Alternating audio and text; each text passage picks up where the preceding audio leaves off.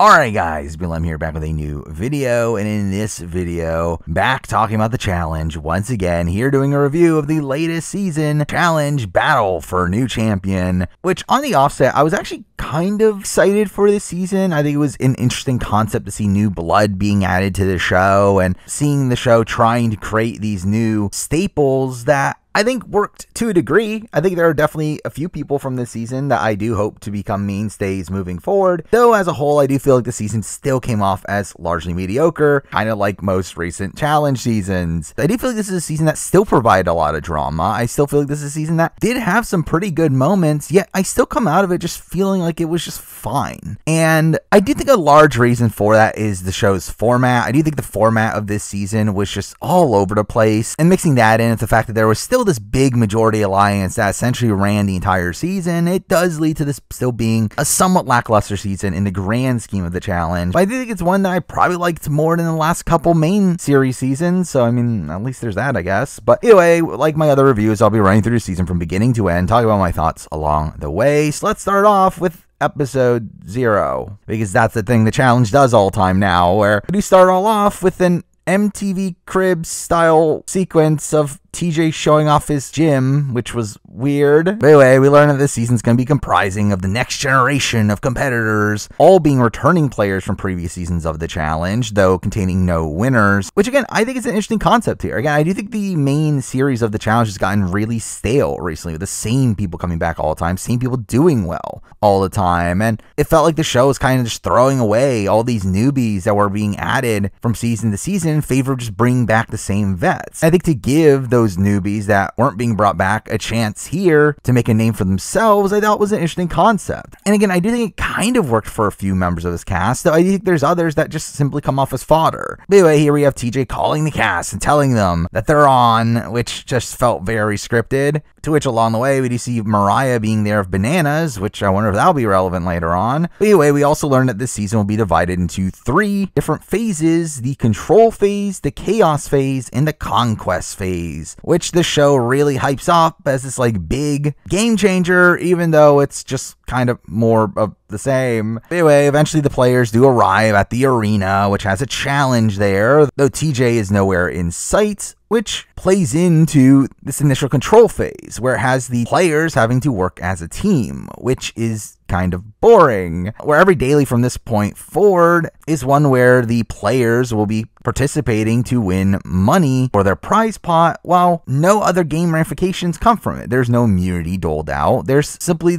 just them winning money, which I don't care about. And it's weird because, like, obviously, this is something that essentially the Traitors does. And it's like one of the most criticized things about the Traitors, how boring the challenges are because there's no stakes to it. And for some reason, the challenge decided to copy that. Like, literally, the worst thing about the Traitors. Like, it's a very strange concept to me. But either way, this first challenge here ends up being kind of humorous in the sense that everyone is just standing there waiting for TJ to show up, only for TJ to obviously never show up. And we have the cast just literally standing there for half an hour as the crew just stares at them, waiting for them to do something, which was funny. But anyway, we then get introduced to Kyland, who gets introduced as this massive super fan of the challenge, being more prepared than anyone else. And he's the person that figure out what's going on here. The challenge itself has them unlocking supplies and finding cots to where they realize they had to sleep out there. To it. The rest of the episode ends up essentially just being us getting set up to relationships, which is obviously kind of point of this episode. But we do see them finding alcohol, the which Big T does the speech here with Big T somehow being the most experienced person on this cast, which is kind of weird to think about. Anyway, we get set up of her relationship with Melissa, with them being these massive underdogs on this season. Meanwhile, Melissa gets to talk a lot about her kid, to which we do see her bonding with Asaf, who's also a parent. Through this season, Asaf ends up playing as a double agent for his alliance, them really just playing Melissa for most of it. Meanwhile, we also get set up to the Asaf J alliance, to which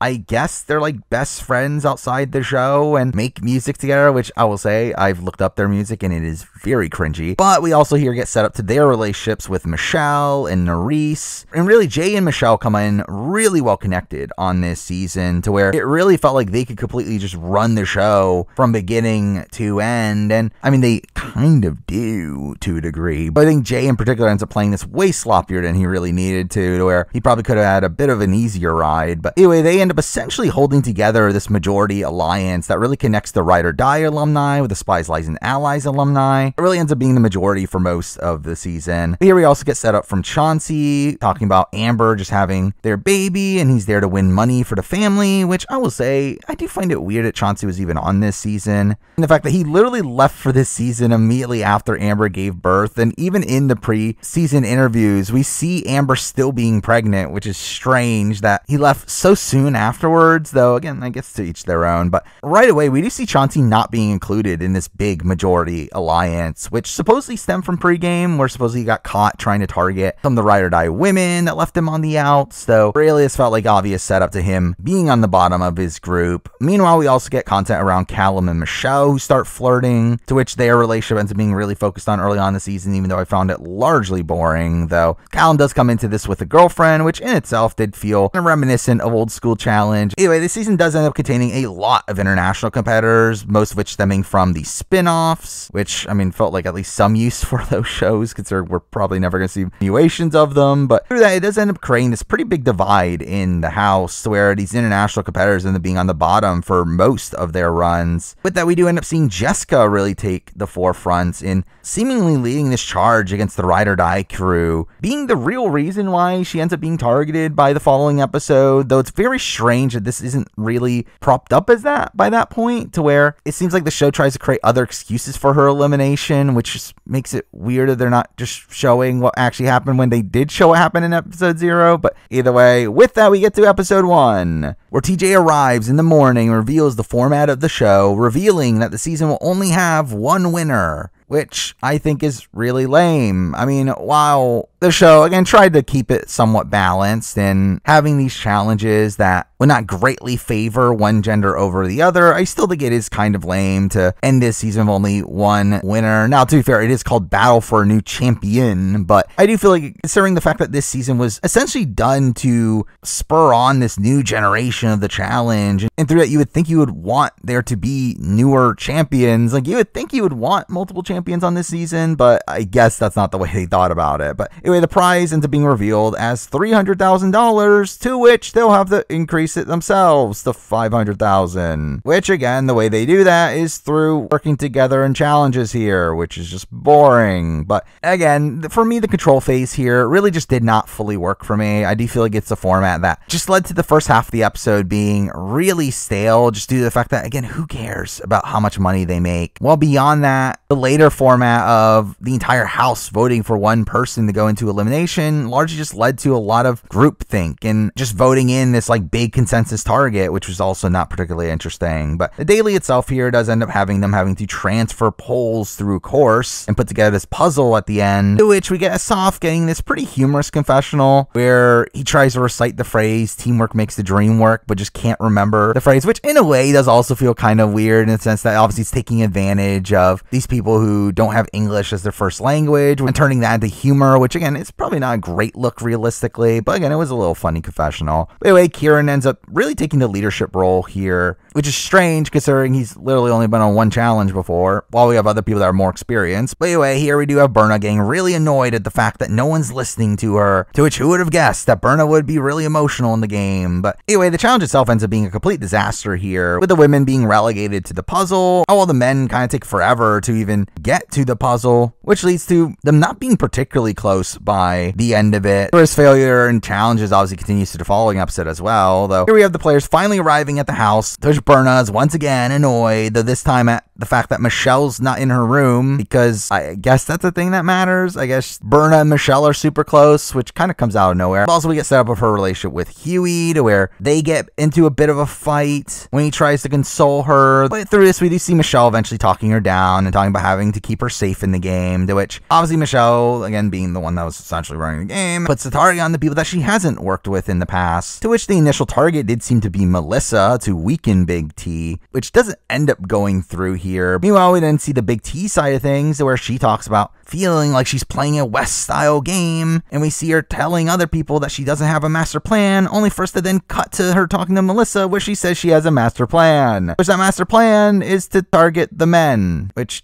doesn't seem like that much of a master plan. But that is something I will mention here. The fact that I, that's another thing of this format I don't particularly love is that it felt like production just allowed them to vote in whoever they wanted. Now, they do kind of change that by episode four, but it does feel like that's the case to where through that it gave the players themselves the decision on which gender to vote down. And through that, it did lead to what kind of felt like misogyny here in the men looking at all the women as the weakest players and wanting to vote them in which again was also not a particularly good look here. But here the target does seem to be between Big T and Berna, only for us to see the ride or die women getting together and talk about voting for Jess as she wants to get the stronger girls out. Again, a minor continuation of happened the previous episode, only for that concept to not really be brought up again. As we get to deliberation, where straight up, I do find it funny that we got the deliberation before the actual voting process actually got formally announced. Though here we do see Jessica saying that she's heard her name, though she then proceeds to admit that there are going to be some challenges that she's not going to be good at, and that she knows she has a slim chance of being the champion, but wants to help someone else win, which really gets propped up as like her completely blowing her game and this being the reason why she gets voted in. Like Big T saying she's digging a hole for herself, and the show trying to make it seem like she was targeted due to the fact that she was weak, which again, maybe played a minor factor, but 100% the main reason she was targeted is because she was seen as this opposition for the majority alliance. But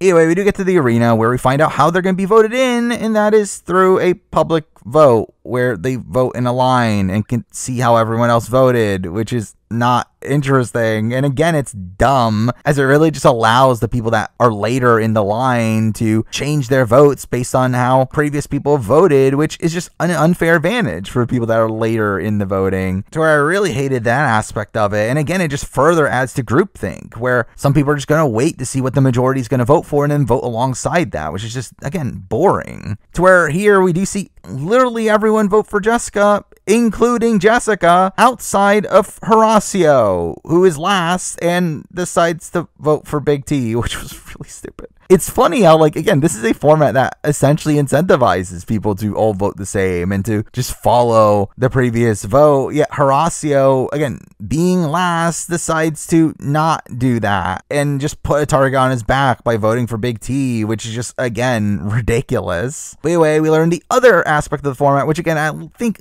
at least balances out a little bit in the fact that the person voted in gets to pick who they go into elimination with. Again at least giving an opportunity for that voted in person person to pick someone from the majority, but instead Jessica picks Big T, which was not that interesting here. Obviously, thinking that Big T was the weakest competitor on the board, which I mean, to be fair, despite how much the show tries to prop up Big T's transformation on this season, I think is probably still an apt pick here, though. The challenge itself ends up being kind of a lame one of them being in these cages above the arena and essentially have to do a tug of war to get this hammer that they use to break the floor. And again, it was just boring and done super quick. So Big T wins the challenge here, where again, they really hype her up, even though again, it was a super lame challenge. But with that, we do lose Jessica, who is someone that I came out of AU thinking that there was potential. Jessica, I thought Jessica came off as a pretty good competitor there. She also was a big fan of the game and did seem to have a lot of allies there to where, and I thought there was some potential there, Jessica. Obviously, on this season, we didn't see any of that. And to fair, we might have just not seen it in the edit, as again, it did feel like she was blatantly coming after the ride or die women and through that, and seemed to be playing hard, though, really outside that, I don't feel like we really got much of her on this season to where I would not be shocked if we just never really see her again. With that, we get to episode two, where right away we do see Jay and Chauncey talking about looking out for each other, which makes it clear that they're not going to be looking out for each other. Though this is where we do get the introduction to the US alliance, where supposedly the people from the United States are working together and we get this US versus international team being set up, which again, it's portrayed genuinely here, despite the fact that I felt like this was very clearly just a cover for what was really going on in the game, which is this ride or die slash spies lies and allies alliance essentially just targeting the outsiders where and they are working alongside the likes of like a berna colleen and emmanuel which makes the overall notion a bit strange and felt like a disingenuous aspect of the early portions of the season. But through this we also get the setup that they're not working with chauncey which makes it again clear that chauncey's probably gonna go home this episode. But again it's funny how they just never explain why he's not in the majority alliance. Like they keep on talking about how he's not included in the group but never go into into the reasons why, which again do come from pregame, but it's not like they've been unwilling to show pregame stuff in the past, so I don't get why they didn't show it here. But anyway, we get to the daily, which has them transferring balls from the water to a tube on the top of a platform, to which they have to climb a rope and climb over each other to get to it. And this was just kind of a boring challenge, but also a seemingly really difficult one here to where, again, it ends up being a complete disaster once again, where we get a lot of arguing within the group. And we see some terrible strategy here for like Olivia being placed at the bottom of the rope to where people have to climb over her, which seem misguided. But we do see Chauncey struggling on the rope climb as well, which again, the show tries to act this is the reason why he's being targeted when I, obviously that was not really the case. Now back at the house, we do end up seeing the start of the Kyland-Melissa relationship, where this leads to some drama later on in the episode, where Melissa wants Kyland to kiss her in public, only for him to turn her down, and she's humiliated. To which this leads to Kyland revealing his autism to her, which all this was just a little bit strange. Though again, nice representation there for Kyland to get to talk about that on the show. But anyway, we do get a lot of setup here to Huey being the target for the episode, with a lot of him getting a lot of personal content as well, talking about his gypsy background, him talking about wanting to be a father. Though it doesn't really go anywhere here, as obviously Chauncey ends up getting voted in instead, where you know, we get to deliberation where Chauncey once again gets shown as him blowing up his game in this spot where we see him like asking Horacio if he's done him any wrong, only for Horacio to say that you did say my name last season, or it ends up backfiring on him. But anyway, here we also get set up to Raven being close to Chauncey and wanting to save him and mixing down the fact that she's also close to Kieran and creates plan with Kieran to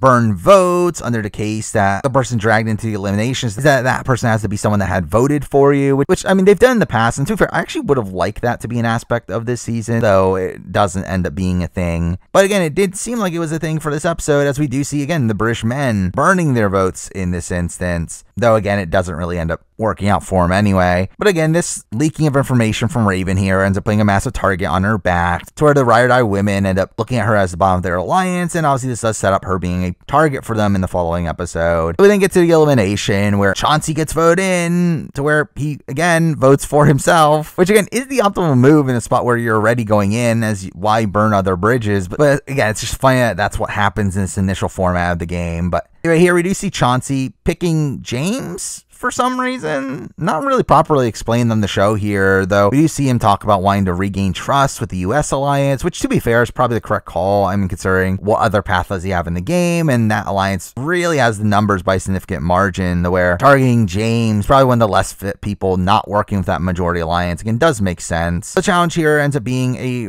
pretty physical one, a lot of running back and forth, where we have the transfer these light cylinders to plug holes in the wall and create rows of three, which again does have this mental aspect to it as well, where obviously Chauncey does outperform James in the physical portion, only for James to somehow beat him mentally, which is kind of sad. Considering James isn't the brightest bulb in the bunch either. To which James ends up winning the challenge here despite being completely exhausted, which finally ends up really lessening his threat level moving forward where despite him never being in the numbers for really the rest of his run on the season he simply isn't targeted because he's not really a threat to anybody because they know he can't win a final. But again with that we lose Chauncey who again, was a bit of a mess on this season. I mean he didn't really seem to have much of a chance. It seemed like pregame really tarnished his reputation coming into it to where no one really wanted to work with him here. And through that again he didn't really seem to have much potential on this season. I mean entertainment wise I probably found him more interesting on this season than I did the first time around where really I found him kind of boring there. And here at least he was a little bit more chaotic, though really at the end of the day, again, Chauncey's not someone I'm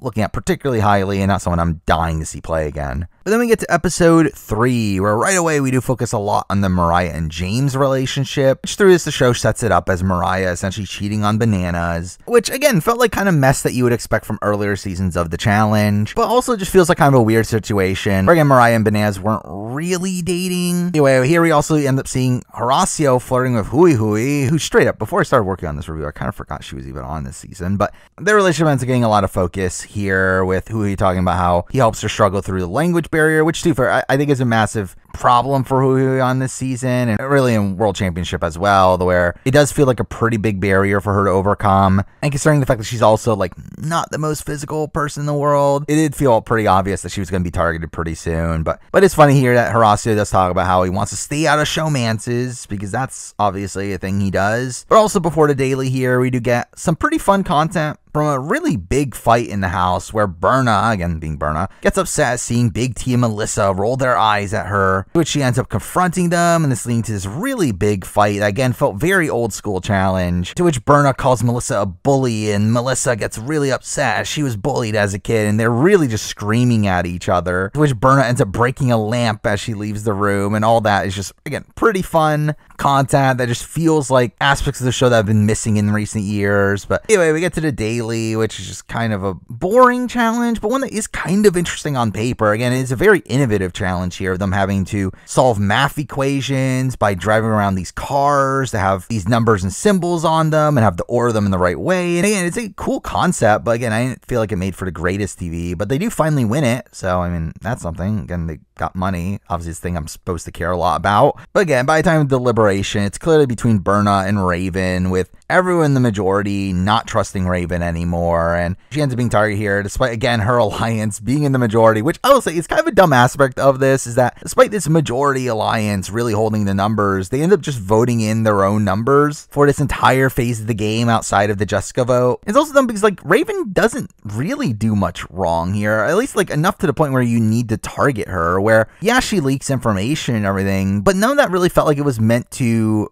be as a move against the main core alliance. And again, even if she is working both sides, why take out the person that's working both sides? Will you just take out the person that she's trying to work with to begin with and through that limit her options. Where again, she's still someone that's willing to work with you. Again, it just felt kind of dumb to just target her in this instance. But here we see Mariah create this plan to have all the women burn their votes and have the men be the ones to vote Raven in. Which we do get a lot of content about how corey's upset at this plan, only for him to go through with it anyway. So Raven ends up getting voted in here to where again, she votes in herself. But then when she has the choice of who to drag into elimination with her, who would have guessed it? She picks Hui Hui. I never would have guessed considering her finally being on the show at the beginning of this episode. That felt like a very clear setup. Anyway, it ends up being a pretty physical challenge here, kind of a modification of pole wrestled where they have to dig out the object beforehand. And Hui Hui surprisingly ends up getting the first point here pretty much due to Raven not watching her and her being able to get away unscathed. The Raven does proceed to win the following rounds, meaning we lose Hui Hui here, who again, straight up, I forgot was even on this season. And like Hui Hui, I think is kind of a disappointing transition from Challenge Argentina, where I thought she was actually kind of fun on Challenge Argentina. I thought she was a fun presence there. On the main show, again, I just think the language barrier is a bit too much. It just really feels like she's not been able to provide much entertainment, largely due to that, to where mixing that the fact that again she has no real connection, she's also not particularly good physically. Like I just don't really see much potential for Hui Hui. You know, she is a very likable presence and one that I don't mind as a TV personality. I just don't feel like the challenge is really the show for her here. But with that, we then get to episode four, where this episode ended up airing immediately after the previous one because they were really trying to rush to the vets at this point, considering initial ratings were not particularly great. But it is funny that at the very beginning of this episode, we do get this flashback to the elimination from the previous episode that again had literally just aired. Anyway, the daily itself here ends up being another kind of boring challenge, them having to swim out to get puzzle pieces and solve the puzzle by the end. And here we do get some content from Huey, who's upset that he's not one of the main swimmers, and other people being annoyed at him for that, which really ends up setting up his elimination. Oh, well, major focus of the challenge itself ends up being Nurys really struggling with the swimming portion, where Ed has to come back for her and get her piece for her, which I didn't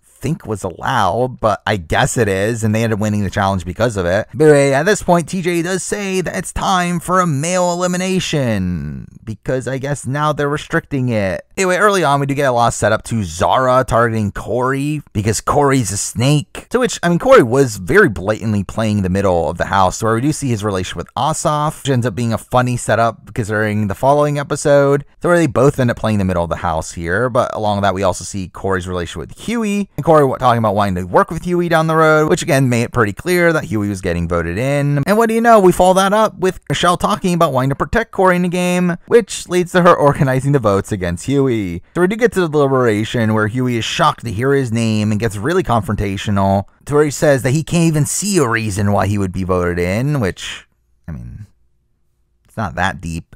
But this leads to this pretty funny sequence of the men all talking about their strengths, to which Michelle ends up calling it circle jerk. But here we do see the target kind of shift a little bit at a point to where Nurys and Olivia do talk about wanting to target James instead, considering his connection to Mariah, though Mariah obviously doesn't want to go through with this and really ends up not mattering. Though with that, we do have Mariah telling James that this was a plan, to which he gets upset and calls the girls the C word which is obviously a good look for him. But again, through this video, get more focus on the Mariah James relationship, with us getting a lot of Mariah just feeling bad about bananas. To which we then see Olivia disapproving of the relationship. And in general, it did feel like Olivia gets a much more negative tinted edit this season of her being shown. Again, a bit judgy and also a bit jealous at points. But also in this episode, we do get an LGBT pride related party where through that Big T ends up coming out as bisexual, which again, nice moment for Big T. And Again, really nice for a show that actually try to showcase its diversity, though in the same light, I feel like they could probably still do better, especially in terms of LGBT representation. But either way, again, we get to the elimination where we get a lot of burn votes once again, but Huey obviously gets voted in here, to which he ends up picking Kyland, which again doesn't properly get explained, though again, it seems to be due to him having no connection with him. Anyway, the challenge itself ends up being a very carnival gamey one where they rotate this track with baskets on it and roll these balls into the baskets, which Kyland again gets to prop up his challenge knowledge by talking about having learned from from watching Jordan, who had to win two eliminations to win his season, which is just such a random reference to be bringing up here. And I assume it's here to prop up Jordan before he returns in the following episode. They again, just felt like a very weird throwaway line here. But anyway, with that, Kyland ends up winning pretty easily here. His first of many elimination wins on this season, where it's in this instance where we do find out that he's Horacio's number one ally,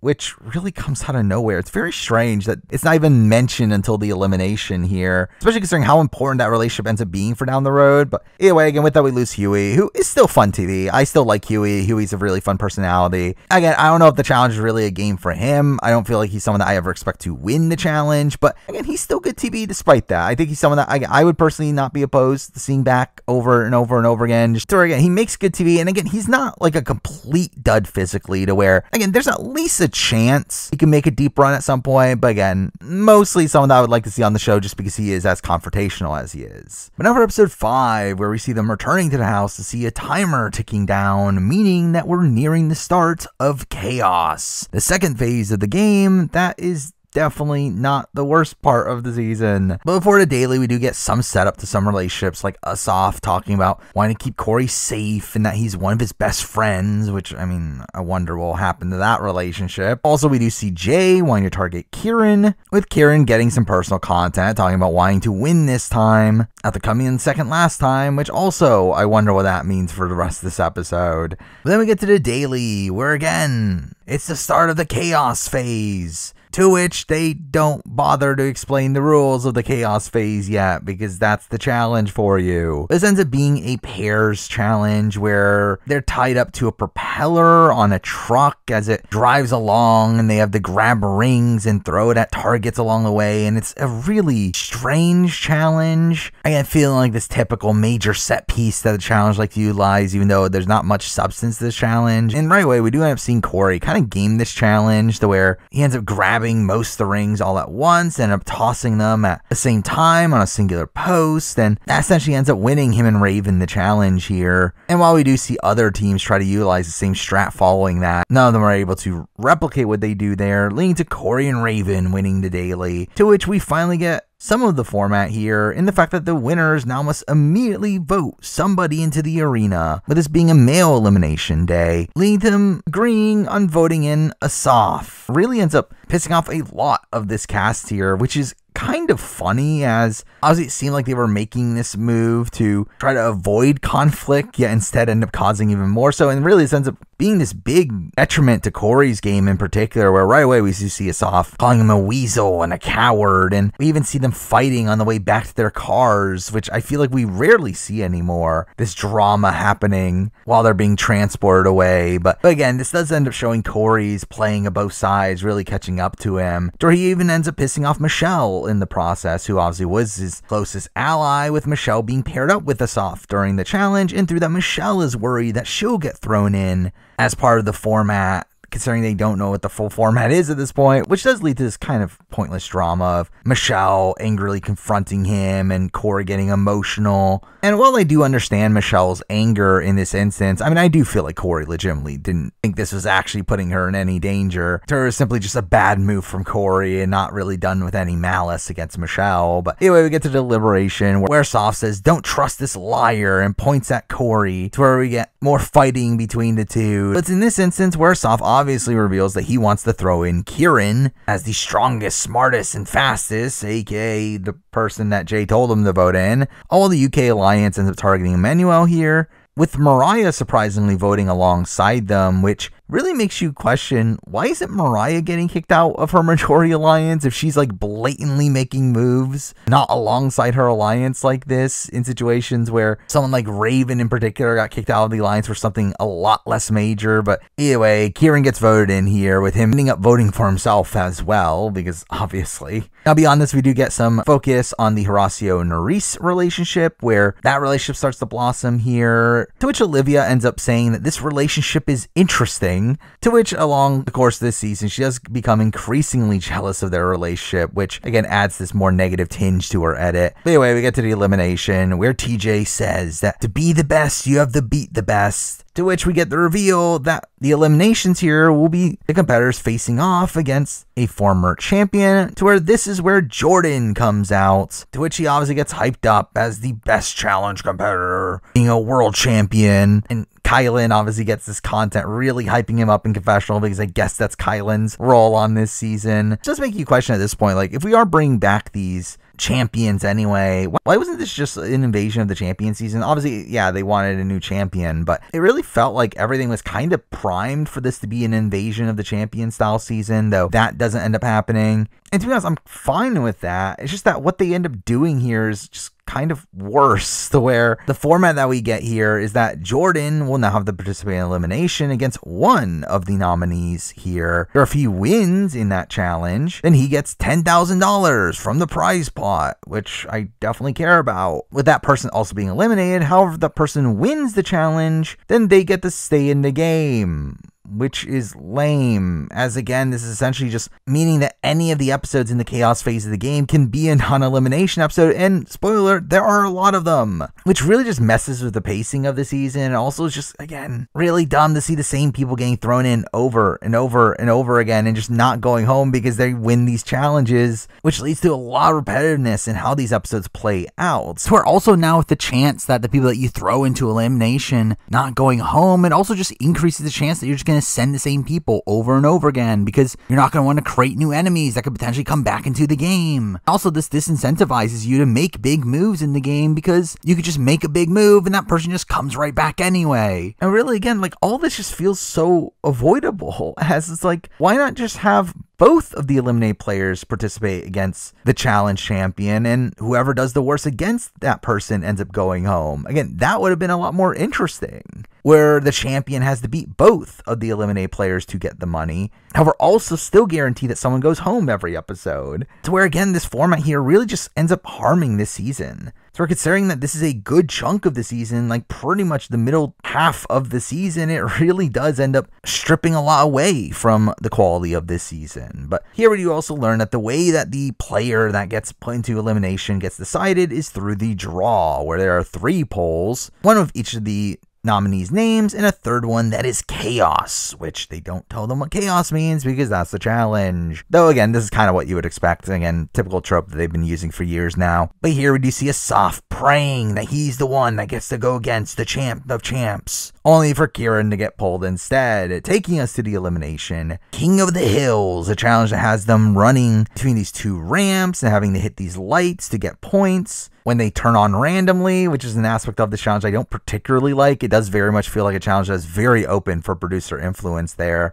And we do get some controversy from this challenge. So where right away we do see Kieran taking a pretty big lead at first, where Jordan doesn't even end up trying, just allowing Kieran to win round one, and then we just see Jordan just stand standing in the center and letting Kieran get two points following that, only for Jordan to say in the confessional that this is a sign and that this is his arena and his domain, aka he didn't want to participate because he was upset at some rulings and wanted to reset. But again, the show tries to turn this into this is just how badass Jordan is when it's no, he's upset at how unfair this challenge is, which is kind of funny when you contextualize it that way. But anyway, Jordan ends up having a pretty big comeback here, ends up winning the challenge. Through this video of Jordan giving this speech to the other players, which in doing so, Emmanuel turns his back to him and later says, I'd love to see you in elimination. And Jordan says, You should have gone down. And we get this bickering between the two that is, again, kind of fun, really one of the only things that's fun from Emmanuel on the season. But way, with that, we do lose Kieran, who, again, was fine. I mean, he was fine his first time around in Challenge Australia. He was kind of fine here. He's not someone I think makes the most riveting TV on the challenge in his run so far, especially outside of like his messiness in episode one of Challenge Australia. But outside of that, like he's just kind of fine. I mean, I think he does have potential. Like, I would not be shocked if Kieran comes back and eventually does extremely well in the show. Though, really, he's not someone I'm particularly dying to see play again. One. But anyway, with that, we get to episode six, where right away we get introduced to this underground alliance that's supposedly running the game of this Fantastic Four that involves Nurys, Asaf, Jay, and Michelle, which was very clearly a pregame alliance, though the show tries to portray it as it wasn't. But it is funny that we do see Asaf saying that he's doing a good job at keeping himself off the radar when it's like you were literally just in elimination the previous episode. But either way, this alliance ends up talking about how they're targeting and Big T, which they constantly do for multiple episodes. But then we get to the daily where it is going to be played in teams where they have the fight for balls in the middle of the playing field and, and using those balls get bingo on their boards. And again, it was just kind of a fine challenge, a pretty physical one. Though we do get a couple notable moments from it. First up in the fact that the teams here were decided based on where they were standing, which was weird. Now, obviously, I assume producers set them up and where they were standing, and it was kind of this pre planned thing. But again, it was just kind of a weird setup to determine how the teams were made here, which they continue to end up doing moving on in the season. But the main intrigue here came from the fact that Big T and Melissa were on the same team, something that kind of constantly happens for some reason. But through that, Olivia decides to sabotage her own team to make sure that they don't win the challenge and aren't safe. Do end up essentially seeing the two other teams work together to make sure that Big T and Melissa don't win the challenge. Even seeing Nurys really fight for a ball that she didn't need, which leads to this big fight between Nurys and Melissa here, with Melissa claiming that she's playing dirty. But beyond that, I mean, Melissa becomes the clear target for the winning team here, to where despite Kyland trying to stick up for her, he gets outnumbered anyway. Though we do end up seeing Zara being conflicted on where to vote, to where it is funny where she's the first person called for her vote, to where she's upset at why can't my team help me decide.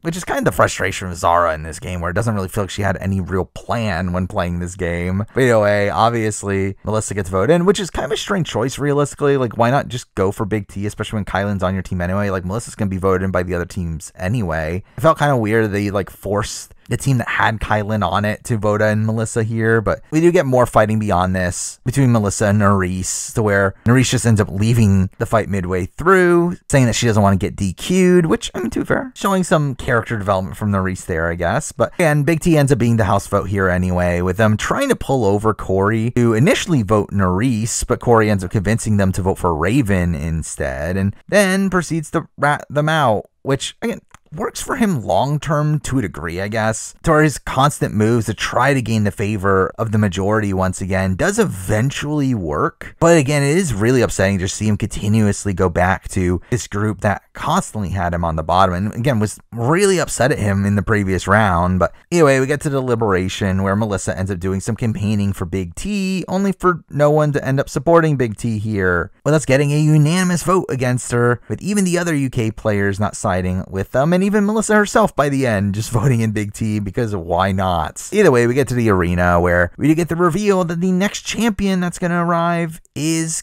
Kaz, which is funny as she hasn't even been on a proper challenge season yet. And it is really funny seeing the show really prop her up when most of the audience doesn't know who she is, and she's going to proceed to just lose the following elimination against Big T, which is not a good look. But again, obviously, we get the draw, Big T gets picked, and we do get an elimination that actually does kind of favor Big T here, and it being one that also having the roll in a barrel, and considering Big T has a weight advantage there, it does lead to her being able to control the barrel lot better than Kaz, to where Big T ends up winning on the puzzle, to which again, we get a lot of propping up a Big T, talking about how she beat a two time champion, which I mean, yeah, to be fair, she did. But still not an overtly impressive elimination win from Big T here. And really just overall, obviously, a very disappointing showing from Kaz in this instance. But with that, again, this is the first non elimination episode of the season, which I'm sure there won't be any more of. With that, we get to episode 7, where we start off with the And Michelle relationship, with him also getting personal content, talking about his mom. So I wonder what's going to happen here. Along with the fact that we get Corey talking about he's feeling like he's on the bottom of the US alliance, and we see Melissa talking about trusting him. Obviously, that's not going to go well either. But again, we get more focus on the Nurys Horacio relationship. That really just leads to a lot of people just kind of trashing on Horacio, with Berna of all people talking about how bad his social game is. And there's a lot of talk about how Olivia was his political game the previous season, to where people talk about how he doesn't have a voice. And it really just simply felt like he just did not bother spending time with most people on this cast, to where it's being portrayed in a pretty negative light across this episode. Obviously, a very different light to how he was perceived in the previous season. Though some of this content has come from Emmanuel, who, along with that, also gets personal content. Because obviously,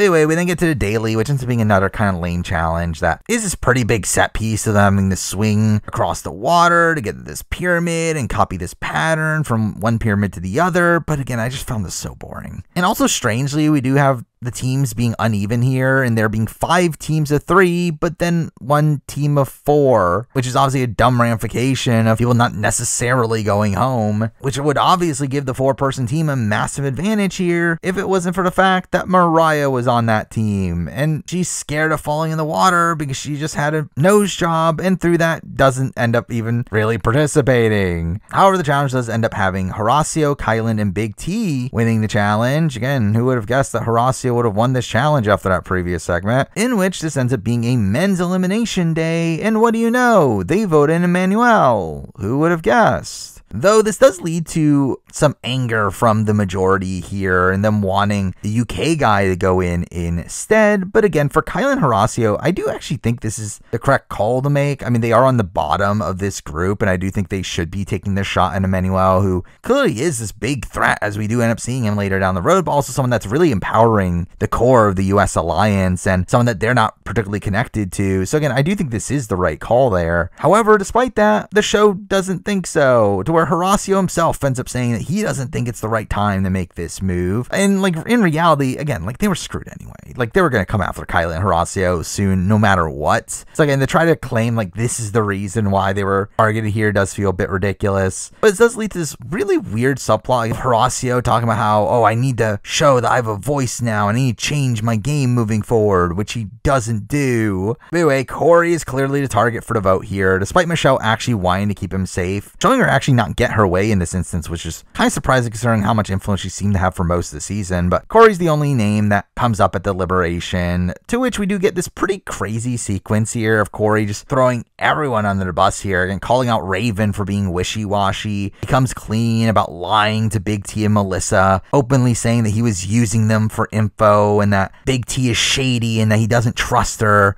obviously leading to Big T and Melissa fighting back in this instance. And while everyone does end up voting for Corey here, I actually feel like this was maybe the right call for him. Now, I don't know if the approach was necessarily the right approach, but obviously, I do think him separating himself from Big T and Melissa was the right call to make. It does earn him trust with the majority group once again. And again, eventually, he does find himself well situated within that group again. And again, this is a situation where Corey's going to go in anyway. I mean, at this point, he might as well throw a Hail Mary to try to better his position in the long term. And again, I do think it ends up working out here, even though I do think his frankness in this situation probably comes off a bit too cold. But anyway, we get to the arena where Devin ends up being this week's champion, to which he finally ends up being the one to pull out Chaos, which is revealed to just be that he can pick anyone outside the daily winners, which is kind of what you would expect it to be. But this is another aspect of the format here that I don't particularly love. Again, it's another aspect of the format that really just benefits the majority alliance, as this is just a massive disadvantage to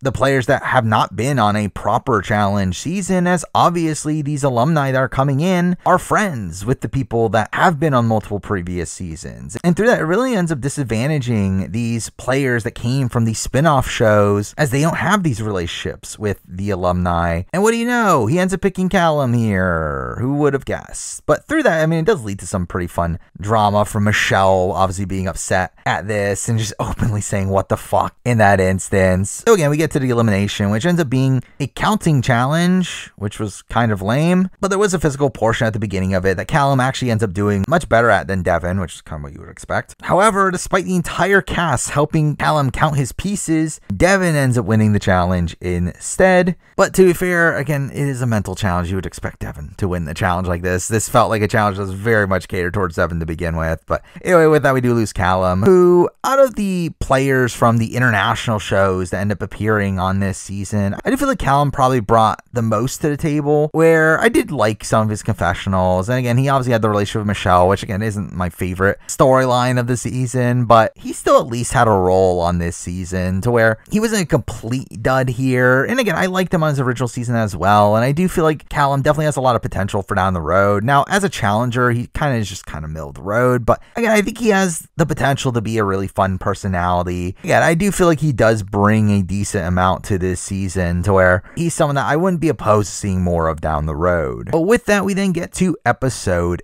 8, where who would have guessed it? We start off with us hearing about Big T and Melissa being massive targets. Who would have guessed? But anyway, it takes us to the daily, which ends up being Tower of Power, aka the JCT challenge of you having to create a barricade that the other team has to break through, which here we get history repeating itself with Jay leading his team to victory here, all while the opposing team, which ends up containing Big T and Melissa, ends up losing. Who would have guessed that? But it's funny to see the losing team here being led by Kyland, who ends up talking about how he's thought about what he would do in this challenge for hours and hours, only for a strat that he ends up using to suck, and him leading his team to a loss here. And obviously, we see the winning team vote in Melissa here once again. Or once again, she's really upset and ends up being confrontational Corey, which is some fun content. But but through there only being two teams here, it essentially means this losing team is the only one that gets to vote for the other nominee, which is actually kind of an interesting situation with very limited options here. If it wasn't for the fact that Big T was an available option, that was just an easy go to. Though, with that, we do see Colleen finally coming back to the show, where she's here simply because she's a decoy target, where we do see Mariah wanting Colleen out for some reason. Again, not really explained why, outside the fact that I guess she has some sort of relationship with Melissa. But again, that really ends up going nowhere. But through that, we get more drama from Melissa. That, that is really fun here. Really just feels like old school challenge here of her first going up to Berna and saying that she heard that she was the leader of the vote against her from Mariah, which was a lie. That does lead to a fight between Berna and Mariah, which was fun to see. And again, I like it when people proactively lie in games like this. Though the way she handles it here is in a pretty sloppy manner, especially considering Melissa proceeds to literally do the exact same thing with Raven following this, leading to a fight between the two that gets very heated here, with Melissa ending up throwing her drink at Raven, creating this really big feud between the two. Here we do a Big T knowing that she's going in, and though we do see some pretty fun campaigning from her, with her jump scaring Ed from behind the chairs and bribing him with money, which obviously doesn't end up working. Which, I mean, like, I really haven't talked about Ed at all in this review up to this point, but again, it was very frustrating to see Ed also feel very complacent within his alliance, not really do anything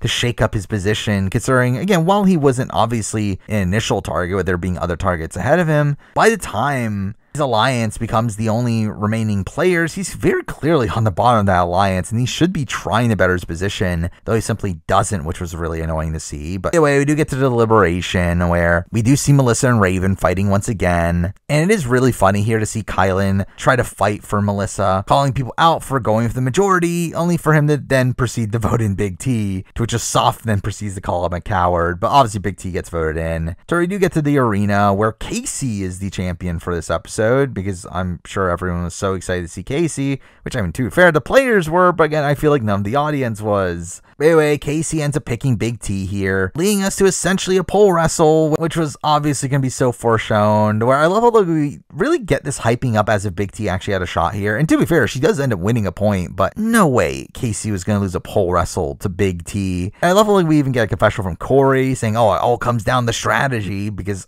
I guess. I guess that's what pole wrestle comes down to you have Casey versus Big T. Obviously, Casey wins here. Big T is eliminated. And again, this is a big loss this season here. Big T was such a star on this season up to this point. I mean, really, her and Melissa were really these only saving graces early on in the season of them being the main source of entertainment on their show. And again, Big T's still an incredible confessionalist, still really fun personality. Again, I still stand by the fact that I don't think Big T can win the challenge. I don't think she really has much of a chance of ever winning a season, though she still is a likable presence here that makes me not opposed to seeing her on the show moving forward. Especially considering, again, like she can have these moments where she does surprise people. So, again, at least there's that. But for her luck to eventually run out here, especially against Casey in a pole wrestle, was not particularly shocking. Now, for episode 9, we are right away at the beginning of the episode, we do get a reestablishment of the Melissa Asaf relationship, which, again, feels very apparent to what's going to happen. Though, through this, we see Asaf being again really cocky here, talking about how he thinks he's the new Devin, which I don't even know what that really means. Also, here we do clearly see that Colleen and Raven are on the bottom of the majority alliance, where Colleen finally returns to the show. We do get a lot from Colleen in this episode, with her hooking up with Emmanuel, despite the fact that he has a girlfriend, which really sets up this double standard for Emmanuel across the season that, again, felt big in the fact that the edit seems to support Emmanuel in the situation, while the likes of Mariah has to face a lot of negativity stemming from her relationship with bananas. And we see like Olivia Uh, talk about how she's giving up her game for a man. Where it feels like she faces a lot of negative ramifications for this situation, while Emmanuel simply doesn't. Really personified by a later scene where Colleen is annoyed that he's flirting with everyone. And, and we see him cuddling with like Olivia and with Raven, only for Berna to get upset with Colleen for hooking up with him to begin with, saying that he has a girlfriend. Which it's like, yeah, he's the one with the girlfriend. So again, the fact that they're trying to blame this on Colleen instead of Emmanuel also feels icky there. Anyway, coming to the elimination, we do see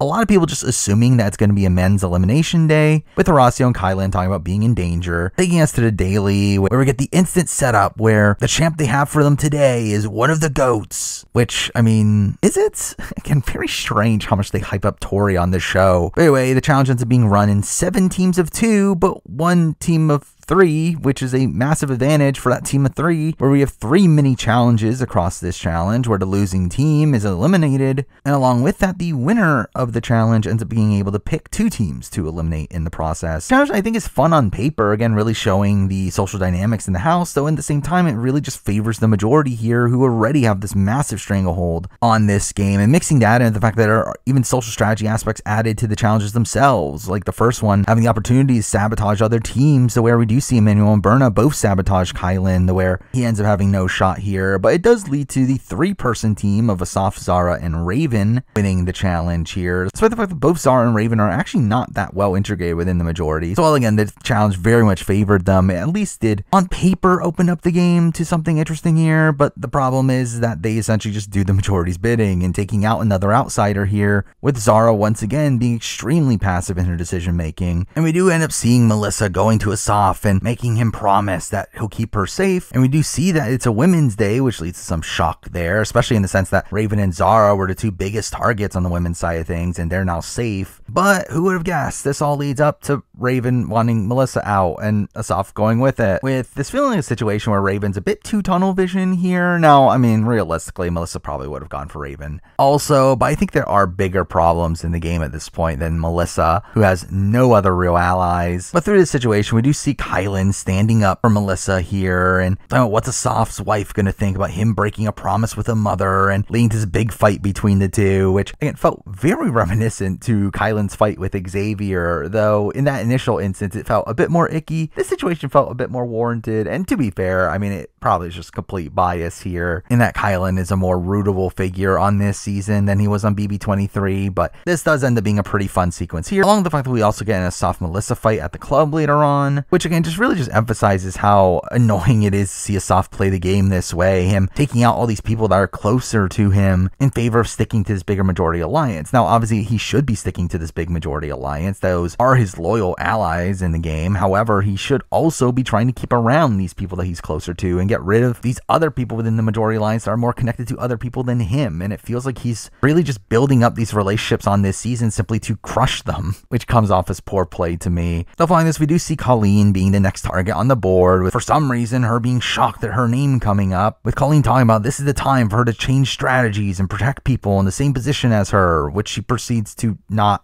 do. Despite Colleen trying to pin some votes onto Mariah throughout the rest of the episode, it doesn't end up going through. And really, that was probably one of the worst people she could have targeted here anyway, as Mariah was someone that at least had connections to the opposite side of the house, and through that could have been someone that would have been more willing to flip, but instead she just ostracizes her instead, and really just ends up having almost everyone voting in. Colleen, taking us to the arena where we get talk about the champion here is one of the greatest players ever play the game, with the reveal that it's Tori, because obviously, when coming out, Tori ends up telling Mariah that this isn't good, and that Bananas is heartbroken, again feeling strange that Tori is shaming Mariah for quote unquote cheating, even though it's not really even fully that. In this instance, where Tori herself is known for having cheated on multiple previous partners, and Bananas himself also is known for having cheated on pretty much everyone he's been with. To where, and this felt extremely hypocritical for Tori of all people to be calling her out here. But anyway, the elimination itself is just kind of boring. Melissa gets picked here. It involves them having to go in a water tank and solve a puzzle. Again, boring stuff. Tori wins. Melissa is eliminated. And again, losing Melissa here was definitely a big hit to the season. And Melissa definitely brought a lot of drama to this season and was one of the main stars of the season up to this point. And really, her relationship with Big T was probably the most prominent storyline in the early portions of the season, especially considering how much of underdogs they were. And again, considering how much drama she was bringing, something that, again, felt kind of missing from this show. I do feel like she brought this energy to the show that hasn't really been there in the last few seasons of kind of this more messy arguments that made her role on this season feel a bit fresh, especially after her Total Madness run, where again, it didn't feel like she really brought that much to that season. Where I really feel like she kind of redeemed herself on this season, the again, she's someone I would love to see back at some point down the road. But with that, we move on to episode 10, where early on in the episode, we get Ed's personal content. Again, made it clear he was going to be important to the episode. Now, to be fair, he doesn't get put in in this episode. He's simply just a decoy. Though, really, I feel like that's more so indicative of how much they've already focused on the other people that are going in and how much those same people are going in over and over again. Anyway, we get to the daily where to split into two teams. And we have this like group on the top that are swinging on these spears while people at the bottom are solving a puzzle. And it's not particularly interesting. Really, just a standard big set piece challenge that has no real substance to it. And it's funny too because they don't even bother explaining the teams in this instance, though. But here we do see Michelle talking about how she's stressed that all of her allies are on her team, only for it to turn out to be a guy's day anyway, so it doesn't really matter. Where we see Jay's team win and talks about it's time to take a shot, aka targeting Kyland and Horacio, who he's already been targeting. But with Horacio on the winning team, that does mean that Kyland obviously gets voted in here, with Horacio being outnumbered and being upset that he didn't have Kyland's back, which this does lead to this tension between Kyland and Jay throughout the rest of the episode, where we do see this very awkward conversation between the two, to which Jay ends up blaming Kyland for being on the bottom due to him isolating himself with Melissa, as if he wasn't just gonna be the target by this point anyway, considering he's on the bottom of their alliance and always has been. But anyway, here's where Berna finally returns to the show, where she talks about being on the bottom as well and talks to Michelle, being upset that she's just a number, and proceeds to be upset that Michelle doesn't spend time with her, leading to a fight between the two at the bar, to where we get a lot of talk about how draining it is to be her friend, which again doesn't really lead to much. So again, was at least some nice drama to have to the episode. Beyond that, we do get Ed talking about how it's a sure thing that James is getting voted in and that he doesn't need the campaign, really being even more frustration of how Ed is playing the game and him being just so passive here. All while James essentially does the same thing, where despite him thinking that he's going to be the house vote and Mariah even telling him to fight for himself, he says that he's not gonna go begging, which is again kind of indicative of his gameplay on this season of him again just also playing super passively, which kind of is frustration of some of these people that did make it pretty deep into the game that were not in the core alliance. The fact that they just simply never made a move move against that alliance, despite the fact that they knew they were on the bottom. But anyway, we get to nominations where we do get a fun little sequence here of Kyland saying that it's a funeral and that he's throwing his own funeral, clearly being an homage to Dan's funeral from Big Brother, though really it doesn't end up affecting the game too much as James obviously gets voted in here anyway, with James and Kyland being the only ones to vote in Ed, leading up to the elimination where Darrell comes out and Kyland gets picked, leading to an elimination that was a bit strange of them having to move a platform to light up these fires. And really, it was one that, again, I didn't find to be the most riveting TV, even though it was, again, a pretty innovative challenge, kind of a modification of one that I think we saw in one of the spin off shows. But either way, Kyland ends up winning here, stays in the game, starting off this long stretch of non elimination episodes which ends up being really boring. But anyway, we end the episode with the reveal that they're doing a challenge right now because I care so much. And again, it matters even less considering there's the one week break in between episodes to where, again, I literally don't care that they're going to be doing a challenge immediately afterwards. Anyway, it takes us to episode 11 where we get a nighttime challenge of them having to go to a graveyard to participate in the gross food eating comp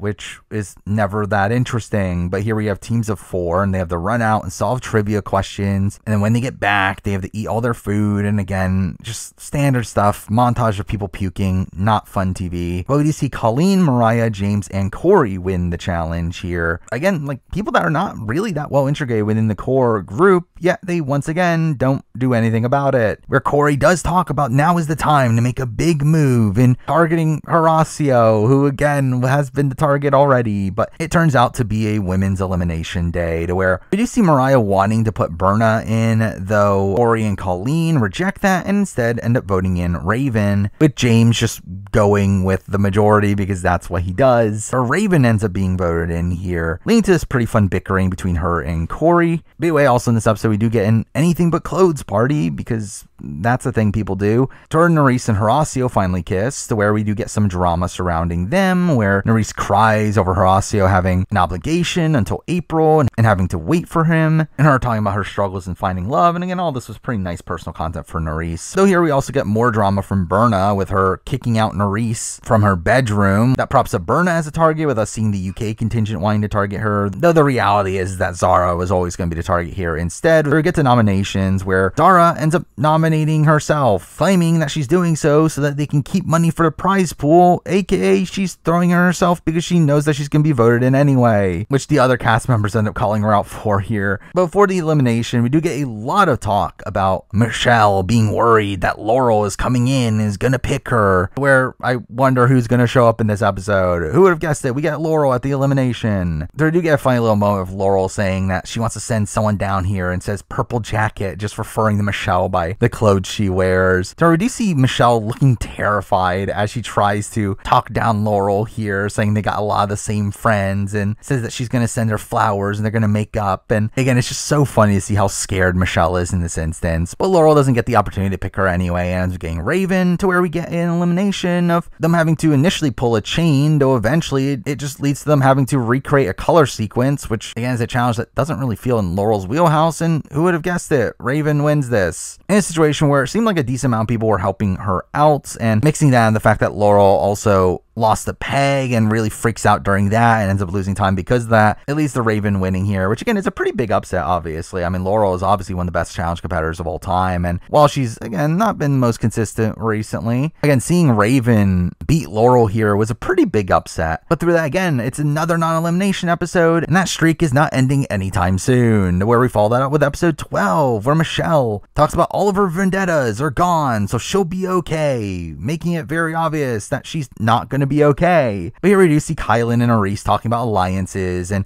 Kyland tries to pull her over to his side, where Nurys talks about not picking a side as she's loyal to all of them, which really means nothing. But we also get more personal content for Nurys, where she talks to her family and tells them about Horacio, who they love, though this is also where, for some reason, her family warns her about Olivia, where they talk about how Olivia is talking mad shit about her, which how would they know? Like, did that come from spoilers? Again, that was very strange. They allowed this on the show here. And they do this to set up Nurys being upset at Olivia and thinking that she could be playing her, which actually ends up being a pretty long term storyline that I was actually kind of surprised that we got here on the challenge. Where again, I was like, I criticized the show for having all these short term storylines that make it very obvious what's going to happen. Though this is one that really takes a lot of the season for this content to actually end up mattering. And I actually do think the setup of Nurys's distrust in Olivia and mixing that in with Olivia's overall attitude in the game kind of culminates in a pretty satisfying payoff by the time it ends up mattering later down the road. But anyway, Olivia also gets personal content here, talking about having self doubt about living up to her last season and being upset at the fact that she hasn't won a daily yet, which again did actually trick me here in the fact that I did 100% think she was winning this daily. Though, to be fair, they did a similar thing with Nelson last season, where he doesn't win the one where it first comes up, but eventually wins one later down the road. Again, they essentially do that for Olivia here. But either way, we get to the daily where it has teams of four having to push each other into the water by pushing a wall. And this was another time where it was assumed to just be a guy's day, to where we do see Michelle talking about not needing to win it here. And we do see some bickering between her and her team, who weren't really the core members of her alliance, to where you can clearly tell that Kyland in particular felt like she was going to throw the challenge. Finally, we do see Raven also talking about throwing the challenge here. She doesn't care which guy goes in, which is obviously a notion that ends up backfiring on her, but Again, shockingly, Olivia's team doesn't win here, only for Zara's team to win the elimination here on what again ends up being another women's elimination day, which we'll talk about the context behind that. But Horacio seems to want to vote in Michelle, to which Berna ends up rejecting that plan, saying that Michelle is my queen, with Horacio saying that she's everybody's. But the decision here is clearly between Raven and Colleen, with Colleen looked at as the least messy pick, despite the fact that Berna wants to save Colleen as well. But again, Colleen gets voted in anyway to where Colleen is surprised that Ed didn't have her back, to which Ed says that there's a long list of alliances and some are higher than others, which it's like, yeah, you aren't, so you're in the same spot. Where again, I just don't understand how Ed was looking at this game and how he didn't realize that he was towards the bottom of the pecking order. But anyway, Colleen does get more content in this episode talking about how she has nothing to lose now and wants to make a big move and all that gets ratted back out to Jay and Michelle by Asaf, and with us also seeing Corey not get on board either, really ends up leading to nothing. Oh, while the Olivia Horacio relationship gets a lot of focus here as well, where Olivia says it's disrespectful that Horacio didn't even tell her that he's coming on this season, and, and talks about how he's just a taker and he's selfish and is upset at the time that he spends with Nurys and Zara over her, which again just felt like jealousy here. Though we do see Jay attempt to turn Olivia against Horacio in this instance, which did seem somewhat effective effective, at least for a short term, which felt like this also pretty big heel turn for Jay, to where really from this point forward, he does come off as more and more unlikable. But anyway, we get to deliberation where it ends up being a pretty easy Raven vote here, and despite Raven proclaiming that she'll not self vote herself, she ends up doing so anyway. If Kyland being the only person not vote for her and voting for Mariah in this instance, which I mean did feel like an unnecessary move from him. But either way, we get to the elimination, and out comes Cara Maria, who they clearly make a big deal of here. And I was personally excited to see her back. I mean, while we know she's coming up in All Stars 4, we haven't seen her on the main show in a while. And again, excited to see that she's finally back in the rotation. And she makes for some pretty good TV here, going on a spiel to the cast, calling them knockoffs, and supposedly made other comments that didn't make air that I wish they did. Though here we also get a funny little moment of Cara calling Michelle orange shirt in a similar way to how Laurel referred to her just by her clothing. Ends up asking her who she would want to vote in, with Michelle not being willing to throw any names, to which Cara says, Well, I'm pulling you down then. Which, I mean, to be fair, she was going to anyway. Again, Michelle doesn't have the greatest reputation amongst the MTV alumni, to where I 100% just feel like Michelle was just going to be a target for a lot of them anyway. And what do you know? Cara ends up getting chaos. So she obviously ends up picking orange shirt. It gets to elimination that, again, did not feel like it's in Cara's wheelhouse. Definitely felt like something more in Michelle's wheelhouse of, again, there being a physical portion to it of you having to get these cubes from around the arena, but following that, it becomes this big puzzle that, again, felt like something that Michelle would excel in. Oh, well, Cara again, never was particularly good at puzzles. And with the other members of the cast also helping Michelle in the puzzle, also, again, it felt pretty clear Michelle was going to win here. Though again, it is a shocking result here to see Cara lose to Michelle. And uh, we also get this big celebration that was pretty funny to see with Michelle really gloating about this. To where again, it was a fun ending to the episode here with Cara bringing a lot of drama to the show. But, but again, it ends up being another non-elimination episode, which is still pretty lame. But then we get to episode 13 14, which is an episode where, again, it felt like something could happen here, where we get the setup of the split house dynamic again, with Colleen once again talking about having to play her own game, and we do see her trying to work with Raven now, who's working alongside Kyland, Horacio, and Zara, which again makes it feel like this group is finally coming together, only from the not be able to do much of anything. But we do then get to the daily where it ends up being another pretty boring one. Again, a typical set piece one of a massive truck coming out and them having to be in teams of four and have to get these tiles out of the water tank on the truck. And again, it was just so boring. But also here we do see the majority once again targeting Kyland and Horacio with their teams respectively throwing the challenge to make sure they don't win, which is obviously optimal strategy there, but also very lame to watch. Oh well, Ed, Berna, Corey, and Olivia end up winning the challenge here, giving Olivia her first daily win. That's something. And she uses that to not fight for Horacio, to where he gets voted in here in a situation where again, like I don't understand why they just didn't vote in Kyland. Like why didn't they just let Horacio be the house vote, vote in Kyland here to appease Olivia? But I guess that's not a thing they do on this season. But here we do have Kyland telling Corey that he's scared, and Corey says, "I just did the bravest thing in the house," with a soft saying, "bravest thing ever," which is like again, yes, the bravest thing ever is to target the guy very clearly on the bottom, and like Corey says that he's the first person to go out on a limb, which is like, eh.